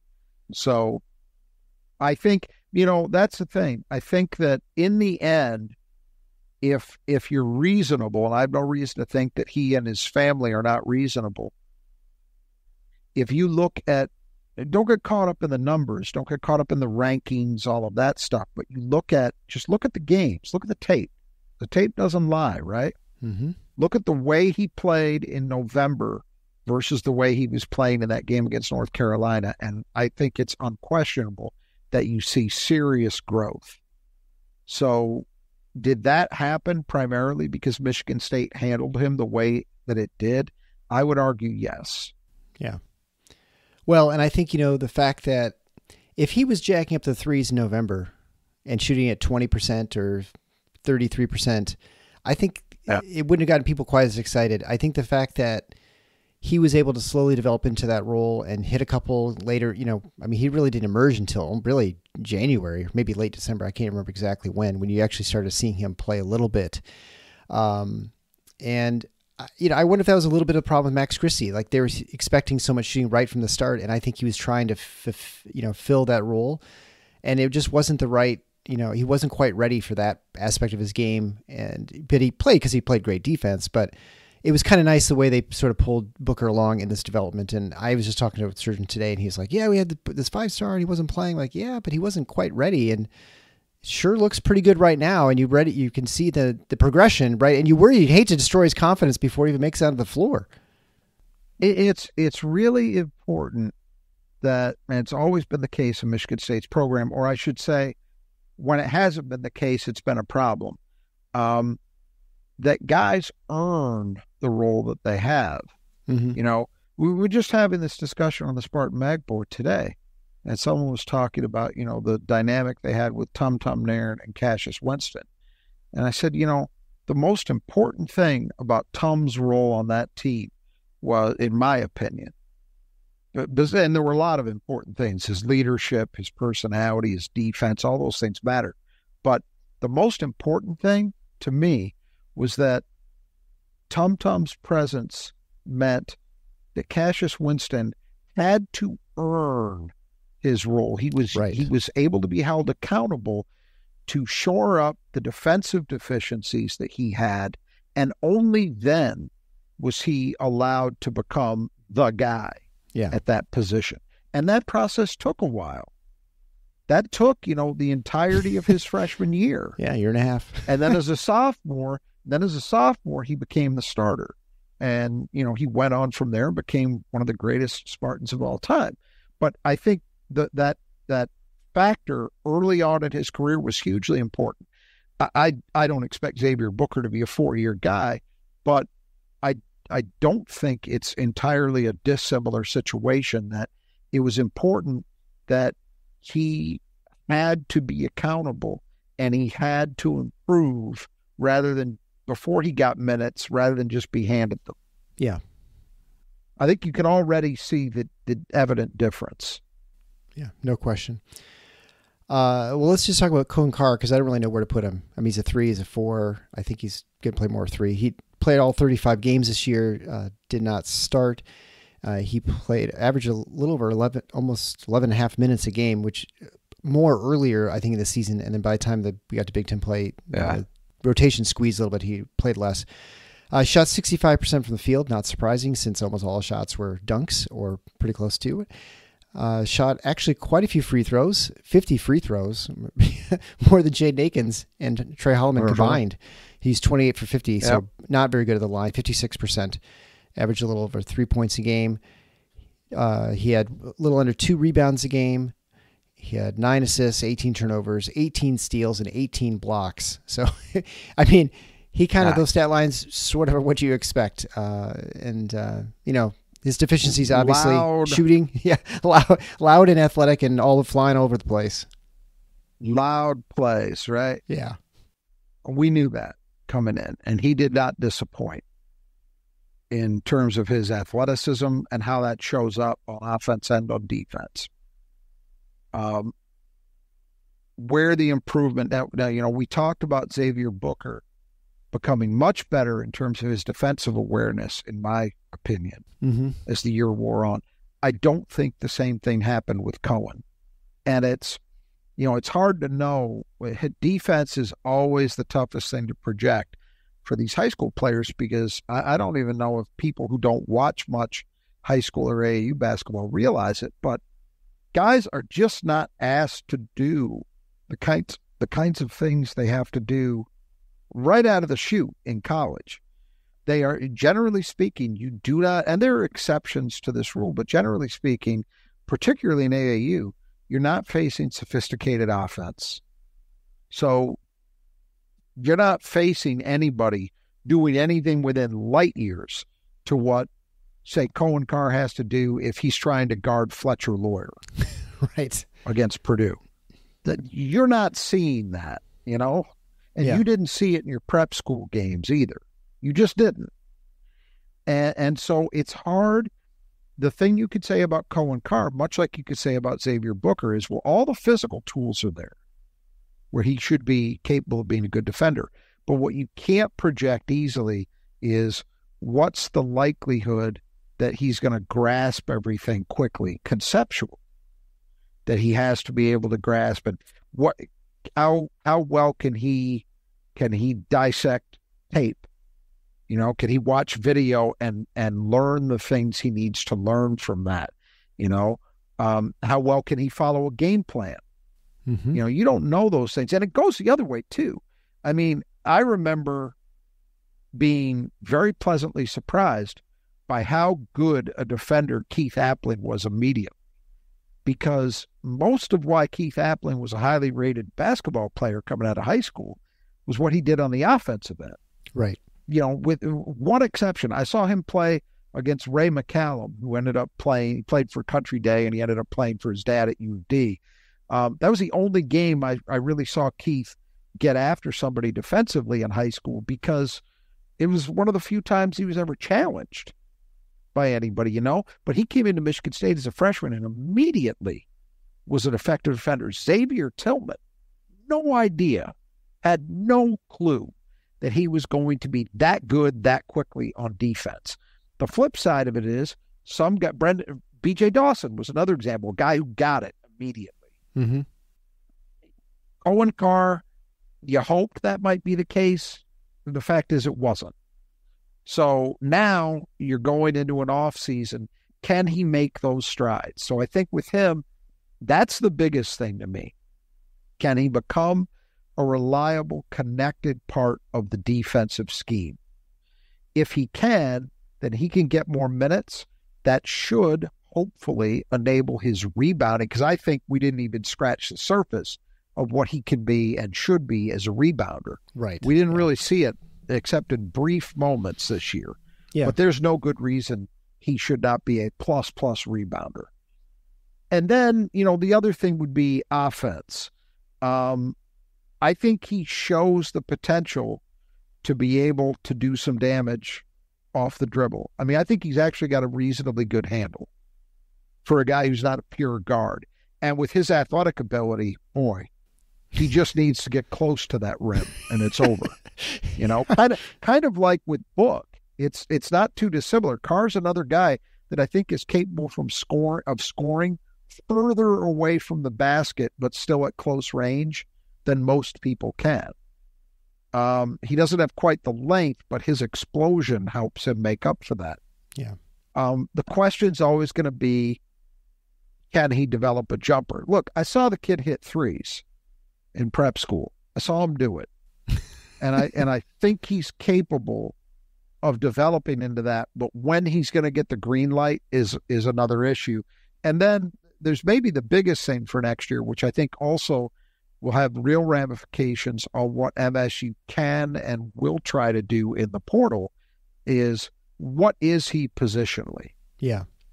Because if he's a wing, which is how they recruited him and mostly how they played him this year, Mm-hmm. if he's a wing, that's seven perimeter guys you've got. I don't think you're adding anybody else to that. Okay. If he's a four, then maybe you can add a guy. But I think it really matters. Yeah. From from that perspective. So he's a very key guy. I think it, it, it also should be mentioned too. The same thing would apply to Booker to some extent. Is he a four or is he a five? I happen to think he's probably going to end up mostly as a four. Yeah. But they did play him at the five some this year. So which way they see him primarily might impact what kind of guy you go after. So I'll give you an example. There's a, where this the rubber hits the road on this. There's a guy, if you've been paying attention, as I assume most listeners have been to the NCAA tournament, there's a kid on Oakland's team, Trey Townsend, who had an outstanding year. He was Horizon League Player of the Year. He scored, I think he scored 30 in, he scored 30 in their win against, no, he scored 30 in their loss, I think. Um, Tennessee State, yeah. in their second round, Tennessee State. Yeah, I believe he had 30 and six in that game. Uh, he wasn't their leading scorer against uh, Kentucky. That was the guard they had. But um, anyway, Trey Townsend, outstanding year. He's been there four years. He could take a COVID year. Now, my my feeling had always been because he's a rare, ex, very rare example of a kid who grew up loving Oakland because his dad played for Oakland. Yeah. So he was already sort of at his dream school. It wasn't this normal, well, guys just willing to use a mid major as a stepping stone. Mm-hmm. He could have he could have hit the portal and found a high major to land at last year and he'd do it. But I have seen Greg Kampe say in the last couple days that he's actually he almost seems to be encouraging him to do it because he can get a payday that he can't get at Oakland. Sure. So I've been skeptical of that. To my knowledge, he hasn't yet officially entered the portal, but I guess I wouldn't be as surprised as I was, say, a few days ago Mhm. if he does that. So you would say, okay, well, that's a Michigan based kid. That's a guy, you know, a proven scorer. He's done it against big time opposition. He's hurt Michigan State in the past. that would be a guy, right? Yeah. But if Xavier Booker is going to be primarily a four, forget Coen Carr. If Xavier Booker is going to be primarily a four, um, where are the minutes for Trey Townsend? Right. Trey Townsend's not going anywhere to play 13 minutes a game. No. Now, if, if you're telling me Xavier Booker is going to be the five, which again, I don't subscribe to, let's just say for the sake of argument that that's his role, well, then maybe you could add Trey Townsend. But if Booker's a four, you're probably looking, if you're going to add anybody, you're probably looking at a five. hmm Yeah. Makes sense? So that's that's where all this positional stuff with Carr and Booker, again, assuming they're on the roster, that's yeah, where yeah, it matters. Right, right. Yeah. Sure. Yeah. Interesting stuff. So, um, well, let's uh talk briefly about the Squeegee Squad of Grand Rapids. If you need your windows cleaned, check out the Squeegee Squad in Grand Rapids. Uh, they can wash your windows. They can wash your house. It is that time of year you got to get your house cleaned up after all the muddy muck that ends up on the side of your house from the snow and all that kind of junk from winter. So check them out. They do fantastic work. Uh, They did a great job in my house. I can't recommend them enough. Uh, you can find all their stuff at our um, ways to contact Troy and his team at the Squeegee Squad of Grand Rapids at our support page at the Final Force on the schedule.com slash support. And our hats off to Troy, who decided not to fill their bracket, thinking that that might be what pushed Michigan would push me say over the edge to get to Final Four. Unfortunately, didn't quite work out. Uh, so anyway, we all do what we can as fans. That's why they call them fans. It's short for fanatic, right? so, uh, so check out the Squeegee Squad of Grand Rapids. You won't regret it. All right, so let's talk about. Well, I don't know. I guess there has been a little bit of controversy this year on the five position for Michigan State. So let's talk about the fives briefly. Huh. Uh, we'll start with Mady. Little Sissoko. bit. Yeah, a little bit. Yeah, there's been a little bit of discussion on what to do at the five spot. So, Mady Sissoko started 26 of 35 games. He actually was number two on the team at the five spot, at least in minutes played, at 500 minutes, averaging 15.3 minutes a game. Uh, he was shot 57% from the field. Didn't attempt a three. He was 31 of 44 from the line for 70%, and he started that year. He was like 90s for most of the year, and then he really uh, tailed off at the end there. Uh, but anyway, so he averaged a little over three points a game, had uh, f- over five rebounds a game, which is a little bit. He had some games where he'd cycle up to like 10, 11, and then uh, less than that. So nine assists, 32 turnovers, eight steals, 15 blocks. And um, I think Mady's the the one thing you could say about Mady, I think, aside from all the great kids, all that kind of thing, and you know he's a great person and all that stuff. Uh, I would say he did not improve much from the year before. The Mady we saw at the last, the tail end of the season, like the last few games, is I think the Mady everyone wants to see. Uh, just a ferocious rebounder, super high energy. Don't worry about how many fouls you have. I mean, not like foul machine, but uh, you know, play aggressive defense. And and I think when people freak out about him coming back, I think my guess is, my read is that his expectations would be much closer to his role at the end of the season than it was at the beginning. Like, there's not going to be any expectation from starting. He's going to be playing 10 to 15 minutes a game to bring in that energy to spell whoever it is who's the starter. And that's kind of how I see his role if he comes back. And for all the obvious reasons he's coming back uh, from a, he's a foreign born kid. He doesn't have access to the NIL. He's playing, I don't want to say he's playing for money, but I think, I think the NIL is definitely what helps him support, you know, all the, the things he's doing with his money back home in Mali.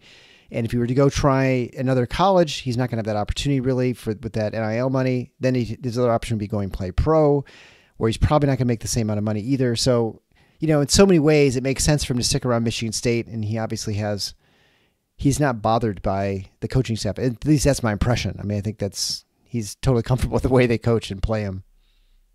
Yeah, I, I think you're right, and that's that's sort of where I've landed with what's most likely to happen. Because I'll I'll admit, I've been assuming that it was probably going to be done for him at the end of this year, but I, I'm I'm not thinking that way. Basing that off the little bit that Izzo said, and then just thinking all of these aspects through. Um, look, is it is it likely that Mady takes a great leap forward and starts to play at the levels we saw against Gonzaga and Kentucky last year on a game in game out basis? No, you would you would conclude by now that that's not the case, but um, it's not impossible. The other thing I would say is if we get the Mady that we saw over the last say four games of the season in that role I'd take it without missing a beat. Yeah. Because that's a very effective backup center that you've got. I mean, that guy, the energy he played with, the way he rebounded again consistently. Um, he, against Carolina, he hit a couple of uh, post ups. Really, I still think he's capable of doing that. He didn't do it very well this year, very consistently, but he is capable of it. Um, you know, there's some there's some aspects to Mady Sissoko's game that, in the right role, you would absolutely say could be valuable for a team. Um, yeah, right now I would assume that he's back. That would be my yeah. assumption, and uh, unless and until we we see otherwise, but I don't think the personnel movement that is going to need to happen in order for them to add somebody in my opinion, at least. Um, I don't think it's pro- it's very likely to come from him. I think he'll be there, and you're right in a in a certain kind of role. Um, he can be he can be helpful. I think that's a role that he's comfortable with too, and I think that's the thing. Yeah, I don't. He's not.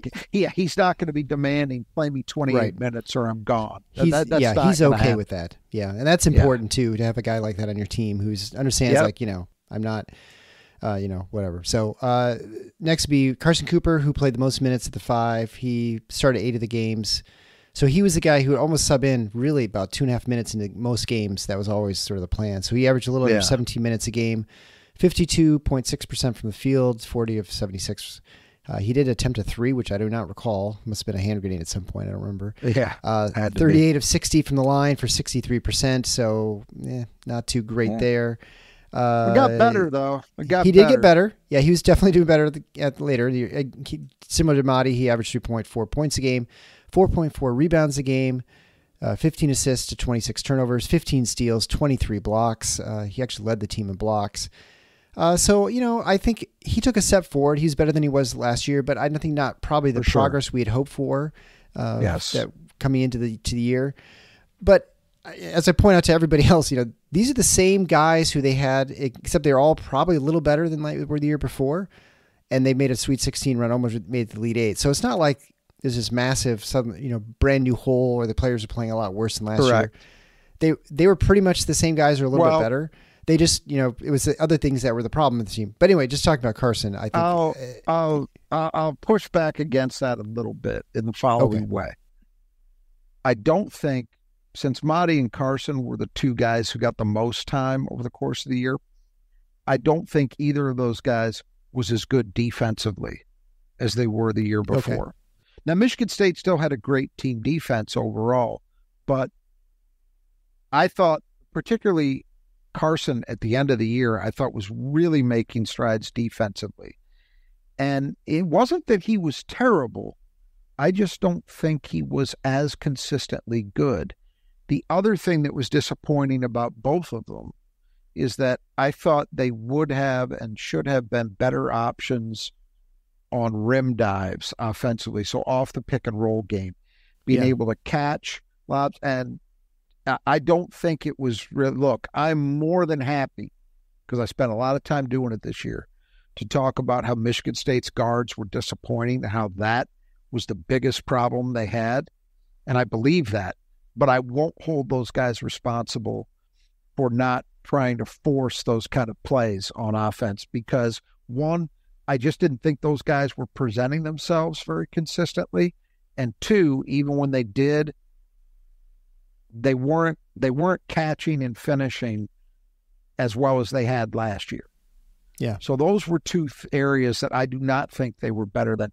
Carson was clearly much more capable of competing physically than he was a freshman. He put in a lot of good work mm-hmm. to get yeah. bigger, and I think it showed up. I think he was a much more consistent rebounder. Um, I think in terms of post defense, he was better because he was better able to stand his ground, you know, carve out position. Um, offensively, look, this is where I get with the people crying about the five all the time. Um, the the insistence on pounding the ball inside and especially early in games and trying to get post ups, not not good. That's yeah. that was not something that was productive. Their efficiency rate on those plays was terrible. And, you know, unless there's real improvement, I hope to not see that stuff again. Now, it's interesting to me because, as I mentioned a while ago, if there's going to be a guy brought in at the five, which is what I think is most likely, um, where does that player, what happens? Because they got three guys if Mady comes back. Somebody's got to go. So that means it's either Carson or Jaxon Kohler. And and here's the hard part. I don't get the sense that any of those guys want to leave. So yeah. what do you do? This is where it's a very difficult thing. I'm not happy about that circumstance. I can imagine Tom Izzo is extremely not happy about that. Now, is he going to pull one of these two guys aside? And I don't know which one it would be. Um, I have a guess, but I'm not even going to verbalize that because it doesn't really matter. But is he going to pull one of those guys aside and say, look, we're intent on bringing somebody in to come in and start at this position? And your minutes are going to get squeezed. They're not going to be what they were last year, most likely. And we're not forcing you out, but you know, you might be the 13th guy and you might not play much. And would that be enough to convince somebody, you know, one of those guys, okay, I guess I need to go somewhere that I can get a more consistent role? Because that's yeah. kind of the dynamic that's in play. If if you want this to happen, there, you know, that's that's how almost how it's got to be, and that's just not the way Michigan State. Michigan State's done that. You know, they did it with Foster Loyer. they did it with um, Thomas Kithier. Mm-hmm. So they, they've done it, but I don't know. It's not a great. It's not a great place to be. It just gets us talking about Jaxon Kohler. Uh, yeah. So he played yeah. 21 games. He, was, he broke his foot, had surgery right before the season, so he's out basically all the way through. I don't know. Did he come back in December? I can't remember. I think maybe really January. started playing like it was January first or something like that around there. It was even. It was even after that. Yeah, a little bit. I think we that. thought he was going to come back a little earlier. So you know, yeah. it wasn't going to be back to normal. This is the same problem that Jaden had the year before, but not quite as ex- much as expected. Jaxon, yeah. he had trimmed down physically from what he was the year before. Looked really great. Moneyball for what Moneyball's worth. Uh, ended ended up averaging nine minutes a game for the games he played. Shot forty three and a half percent from the field. Tried uh, three yeah. triples, missed all of them. Two for seven from the free throw line for only twenty eight percent. So averaged two points a game, two rebounds a game, four assists, nine turnovers, two steals, 11 blocks, which is kind of remarkable for as few minutes as he played. Uh, defensively seemed a lot better. Uh, and the thing about Jaxon is, and this is the you know the thing I've got rolling around my mind because I'm sure for Izzo and the staff they're trying to figure out you know how to sort of manage all this stuff. Like if you bring in, a, let's say you bring in a Cliff Omoruyi, for instance, from Rutgers, you know, yeah. he's gonna. There's only one place he can play that's a five. I mean, he's not going to play anywhere else, right? Now Jaxon, you could say, well, maybe he plays backup four behind Booker. I, you know, I don't know. I'm just trying to think. Like, is that something that you could? And he's got he's shown some ability to stretch the floor, probably. Uh, we've seen it in Moneyball, and we know he can shoot. He just didn't. You know, last year was just kind of a weird year because of the the injury. I mean, is that something you could envision? And then you could say, well, then Carson and Mady would be your backups, but even then, you're kind of like asking Carson probably. I mean, because you could definitely, I think we'd see Mady being comfortable being backup, but Carson being backup to the backup or something. It's look, it's it's possible, it's possible, but I, I, I will say this: I think I still believe there is the essence of a very productive basketball player within Jaxon Kohler. I agree with you. I thought he was better he's not great, but he was better defensively. He showed improvement. He worked on his body. He has footwork beyond anybody Michigan State's had in the post in a while, in a long yeah. time. Problem is, he's still not finishing well. And that's something he struggled with as a freshman. Now, I'll admit, when they recruited him, I didn't think it would be a problem because mm-hmm. he'd done it at high level competition. And I've seen guys like him succeed with it. Nick Ward was an earthbound center. Zach Randolph was an earthbound center. You can be a guy six eight, six nine, without explosive athletic ability and still finish as a post player. I've seen it done. I assumed Jaxon, with his footwork, would do that. I've seen guys. How many guys at Wisconsin have we seen do that over the years? Right. so it can be done. It's just he hasn't done it. He's Yeah. really struggled. The you know the perimeter, of the jump shooting that everybody talked about in the offseason, that didn't manifest, but at all. But you know, as you said let let's give him a pass because of the circumstances this year. I I don't know. I don't know if I believe that his athletic ability is such that he can adequately defend at the four. I don't know that his purported shooting ability will actually translate to games well enough that you want to play him at the four. I there's a lot of I don't know. And so I can see a situation where he's still on the team.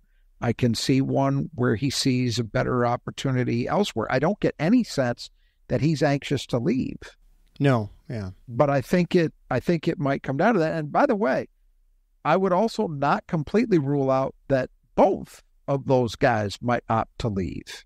Sure.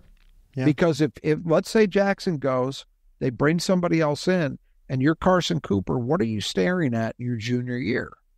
Well, you bring in a guy who supposedly is going to start, and then Mady is going to compete with you at the very least for backup minutes. What are you looking at? Yeah. You're not looking at expanding your role from this year, that's for sure. You're probably looking at it retrenching. Yeah. So, you know, I, I I think that's the spot. And again, the shame of it is I don't I don't get any sense Carson Cooper particularly wants to leave. So I don't know what happens there. But I'm just trying to lay out these are the Mhm. these are the issues when when you bang the drums a portal, portal, portal, portal. These are the issues that Tom Izzo is going to face. And you could say, well, that's why he's paid millions of dollars a year to make tough decisions. All right, that sounds cute. That sounds cute. But you sit across the table from one of these kids and his parents, and you tell them, you know, those assurances I, I gave to you when I recruited your kid about how I was going to take care of him and we were going to work and make him the best possible player he could be. Well, guess what? Yeah. I, I don't think a lot of people who talk that shit have the stones to have that conversation. I'm not saying Tom Izzo won't. I suspect he's probably going to make a move at that position. I'm just saying that's not a position I'd want to be in. Not in Right. this case. There's Yeah. there's been a handful of guys over the years that I think those were very easy conversations to say, you know, Kenny Kaminski, Garrick Sherman, maybe you're best off somewhere else. Okay. These guys, no. Yeah. That's not an easy conversation to have. Yeah, you definitely could. I mean, Jaxon a guy I watch play. I'm like, man, this guy looks like a guy who plays at Bradley, you know, the Missouri Valley or something like that. Yeah. Um, and he could really just That, that up might that, might be that might be what works for him. I don't know. Yeah. I, I still, Yeah, as I say, I'm still convinced there's a very effective college player inside Jaxon Kohler. He just needs to be healthy, and he just he needs to be able to finish those plays around the rim. And all of a sudden, the picture looks a lot better because he made strides defensively. So I think it's possible, at least at the five, that he can become a competent defender. And I think he's got a knack for rebounding, particularly on the offensive end. That I think if he was playing big minutes, could Mhm. actually show up as a real positive. So Yeah. I think there there's an equation there. It just hasn't all come into place yet. And it might Yeah. not ever fully come into place. You're you know, he's halfway through his career now. Yeah. So it is fair to say, well, is this the point that you make a call on it? You know? Right. Well, yeah, and that's uh, that's the question that he has to ask himself, and that the staff has to ask themselves. Well, guess, that Tom they- Izzo's got to ask be. himself is where Yeah. that starts. Well, sure, yeah, yeah, what he thinks. Yeah. All right, well let's uh let's move on to just real brief discussion. Of the walk-ons, Davis Smith, he's departing the team. He's graduated. Uh, Twelve games he played, two point three minutes a game. He was three for ten from the field for three. 30%, two for five. So he's one of the best three point shooters in the team. Uh, hit that big th- Hit it. three at the Big one end of the against yeah, the, Mississippi State. Yep. against Mississippi State. Yep, five for seven from the line for seventy one percent. Uh, two assists, a turnover, a block, uh, and uh, couple ter- rebounds this season. He was a guy who you felt like disaster strikes, like I don't know, fluid breaks out in the team, and he has to not start but play significant minutes as a point guard or something. Like, well, you could probably survive a few minutes. And it was really great yeah. watching him uh, get those free throws at the end of the first half of the Michigan game when Doug. Absolutely. you know, so yeah and and clearly a good vocal leader on yeah a good uh, a good vocal leader in the team. I mean, he that yep. many players mentioned that he sort of called him out. Uh, you know, yep. so a great and that's that's the role what you, you what you hope for for like a senior walk on who can kind of play. I mean, I'm sure it's scout you know scout team guy and stuff. So good for him. I don't he have much more to add besides that. He could have as opposed to the other two walk-ons where I'm not sure that's the case. I think right. he could have played somewhere else, D1. Could somewhere. have played at a lower level D1, yeah. not not as a main guy, but I think he could have been in somebody's rotation at a small D1 school. Yeah, like I think Elkhorn, he probably yeah. got good enough. He probably got good enough to do that. Yeah, and he flirted with it for a little bit and then decided to go back to Michigan right. State. Decided to come back. Yep. Uh, so then Nick Sanders, uh, he played nine games, played 12 minutes. He was one for four, uh, hit that one three, and I think early in the season with off an assist from Steve Izzo for his first yep. three points, first points in a collegiate career, uh, and had that's pretty much it. He didn't have any rebounds or anything else, and so um, not much more to say about him except you know good addition, obviously like a celebrity sort well, of uh, player. He's the one. He's the one guy that'll be back. Yeah, he's the one who'll be back. I, I, last... I assume. I assume. Right. Yeah. And and then there's obviously Steven Izzo who played one extra game because I think Sanders didn't get to come in during the Mississippi State game. So uh-huh. right. And as mentioned before when he started the show, that he did one of the highlights of the season was he hit that and one after in his fifth yep. year. Finally scored a point despite missing a two free throws early. The last I think this year. Uh, yeah, he missed was over two and. So anyway, pretty cool for him, and uh, obviously meant a lot to him. He was for his what he managed, I think, through his career is somewhat remarkable. To be the coach's son, to be a guy who is was you know backup on his high school basketball team, so he clearly you know had no business being on the you know D one basketball team, but uh, was endeared by his other teammates. I mean, they seemed to really enjoy him and have yeah, you know, to be in that spot to not have a people say, you know, you're privileged, whatever. And I remember even when he got on the team, and people were, some people were grumbling about, you know, why are you wasting a spot? Which of course, right. walk on spot, so who cares? Uh, but I think he's shown his his utility and his usefulness, and you know. Well, so I think that the, the the biggest tribute for him is the way his teammates reacted to him. So clearly, they didn't feel they didn't seem to feel that he was entitled or, you know, they obviously all embraced him. So I think that's testament to um, what he did over the course of his five years. And yeah, that moment against Rutgers, I think it was, um, was great. Great to see. Um, yeah. And that it came in a Big Ten game too was was really nice. But um, yeah, I, I think um, I think it's yeah you got to give you got to give him a lot of credit for handling it the way that it by all accounts that he did. And um, yeah. so hats off to him. But yeah, I think next year we're likely to see a couple new walk ons because he and Davis Smith are gone. Um, it'll be interesting to see what they did. We had that discussion on the Spartan Mag board today. Preferred walk on or something, yeah. Yeah. And, you know, that is a role, just quickly, that's a role that has been a big part of Tom Izzo's program. There are a lot of guys. You go Tim Bograkos, um, Austin Thornton, uh, Mike Kebler, uh, obviously, Kenny Goins, one of the big Colby Wollenman. Mm-hmm. I mean, there's a number of them. And I'm not talking about like the Matt Trannons. That's a different category.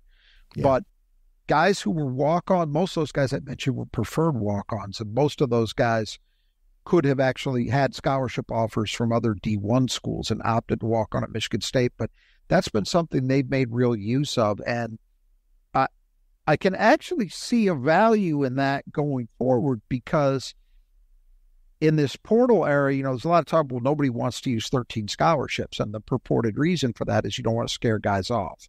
Yeah. But there could be a value in, you know, a, a walk on isn't necessarily going to scare anybody off, but if you can get somebody who has a chance to develop into something, that's still a value for your program. So it'll be interesting to me to see what Michigan. Oh, I mentioned Jack Hoiberg was another example mm-hmm. of a guy yeah. like that. So, um, it'll be interesting to me to see what Izzo opts to do this offseason with the walk on spots. Because for the last few years, it hasn't been the way, you know, more often than not, he's had a guy that if he wasn't already playing, or even Braden Burke, if you remember, right? They did a 6'11 walk on at one point. Um, he didn't end up playing a role, but when they brought him in, he had come from another D1 from Robert Morris. Yeah. So the feeling was, well, he might be able to contribute. More often than not, they've had a guy if he wasn't already contributing, there was the thought that he might be able to. And so it'll be interesting to me if he goes back to that, but we'll see. Yeah. All right. Well, I th- I think we'll uh, wrap it up there. This has been a deep dive into the season wrap up for Michigan State. We're going to take a spring break, and so we'll see you guys after spring break. Uh, and not only check out our sponsors we talked about, but also Nudge Printing. They're providing the, the prizes for our bracket challenge, which um, I guess is a good time to, to mention briefly that as far as the notables in the, the bracket challenge, my son is beating my wife barely. He's 10th. I think she's 11th or 11th and 12th. I think I'm somewhere in the 50s. I'm being beaten by, uh, and Gabe is actually from Nudge Printing is the 14th. So again, if he's if he manages to pull this off, he's going to have to. I guess he'll get his own free merchandise. I'm not sure what'll happen, but um, and then Bracket Dom's doing pretty well. I think he's like in the top 20. I'm in, like I said, I think I'm in the 50s. I think you're running around 90th or so out of 118, uh, and then uh, the uh, Kurt from the Brothers Jesuit Gutters is, I think he's just a couple spots ahead of me as well. So now still early, still four rounds left, and some people have Michigan State all the way through to the end, so things can change dramatically. But it's very, it's been a very chalky tournament so far. So kind of a, which yeah, is probably big just surprise, as, big surprise to me. But you know, um, it could be, it it's just as likely to be chalky as not chalky, right? I mean, I don't, you know, in some ways, yeah. it's you know, so uh, yeah, we didn't expect that, but hey, there's plenty of time for things to blow up in the, in the Sweet 16 too. So who knows what's going to happen in the next second weekend. But anyway, check out Nudge Printing at nudgeprinting.com. Great, great stuff there for, Spartan fans. You're going to get now that weather's turning, you're going to get some T-shirts and stuff like that. You can't go wrong, and 20% off you in your order if you type in Final Four in the coupon code.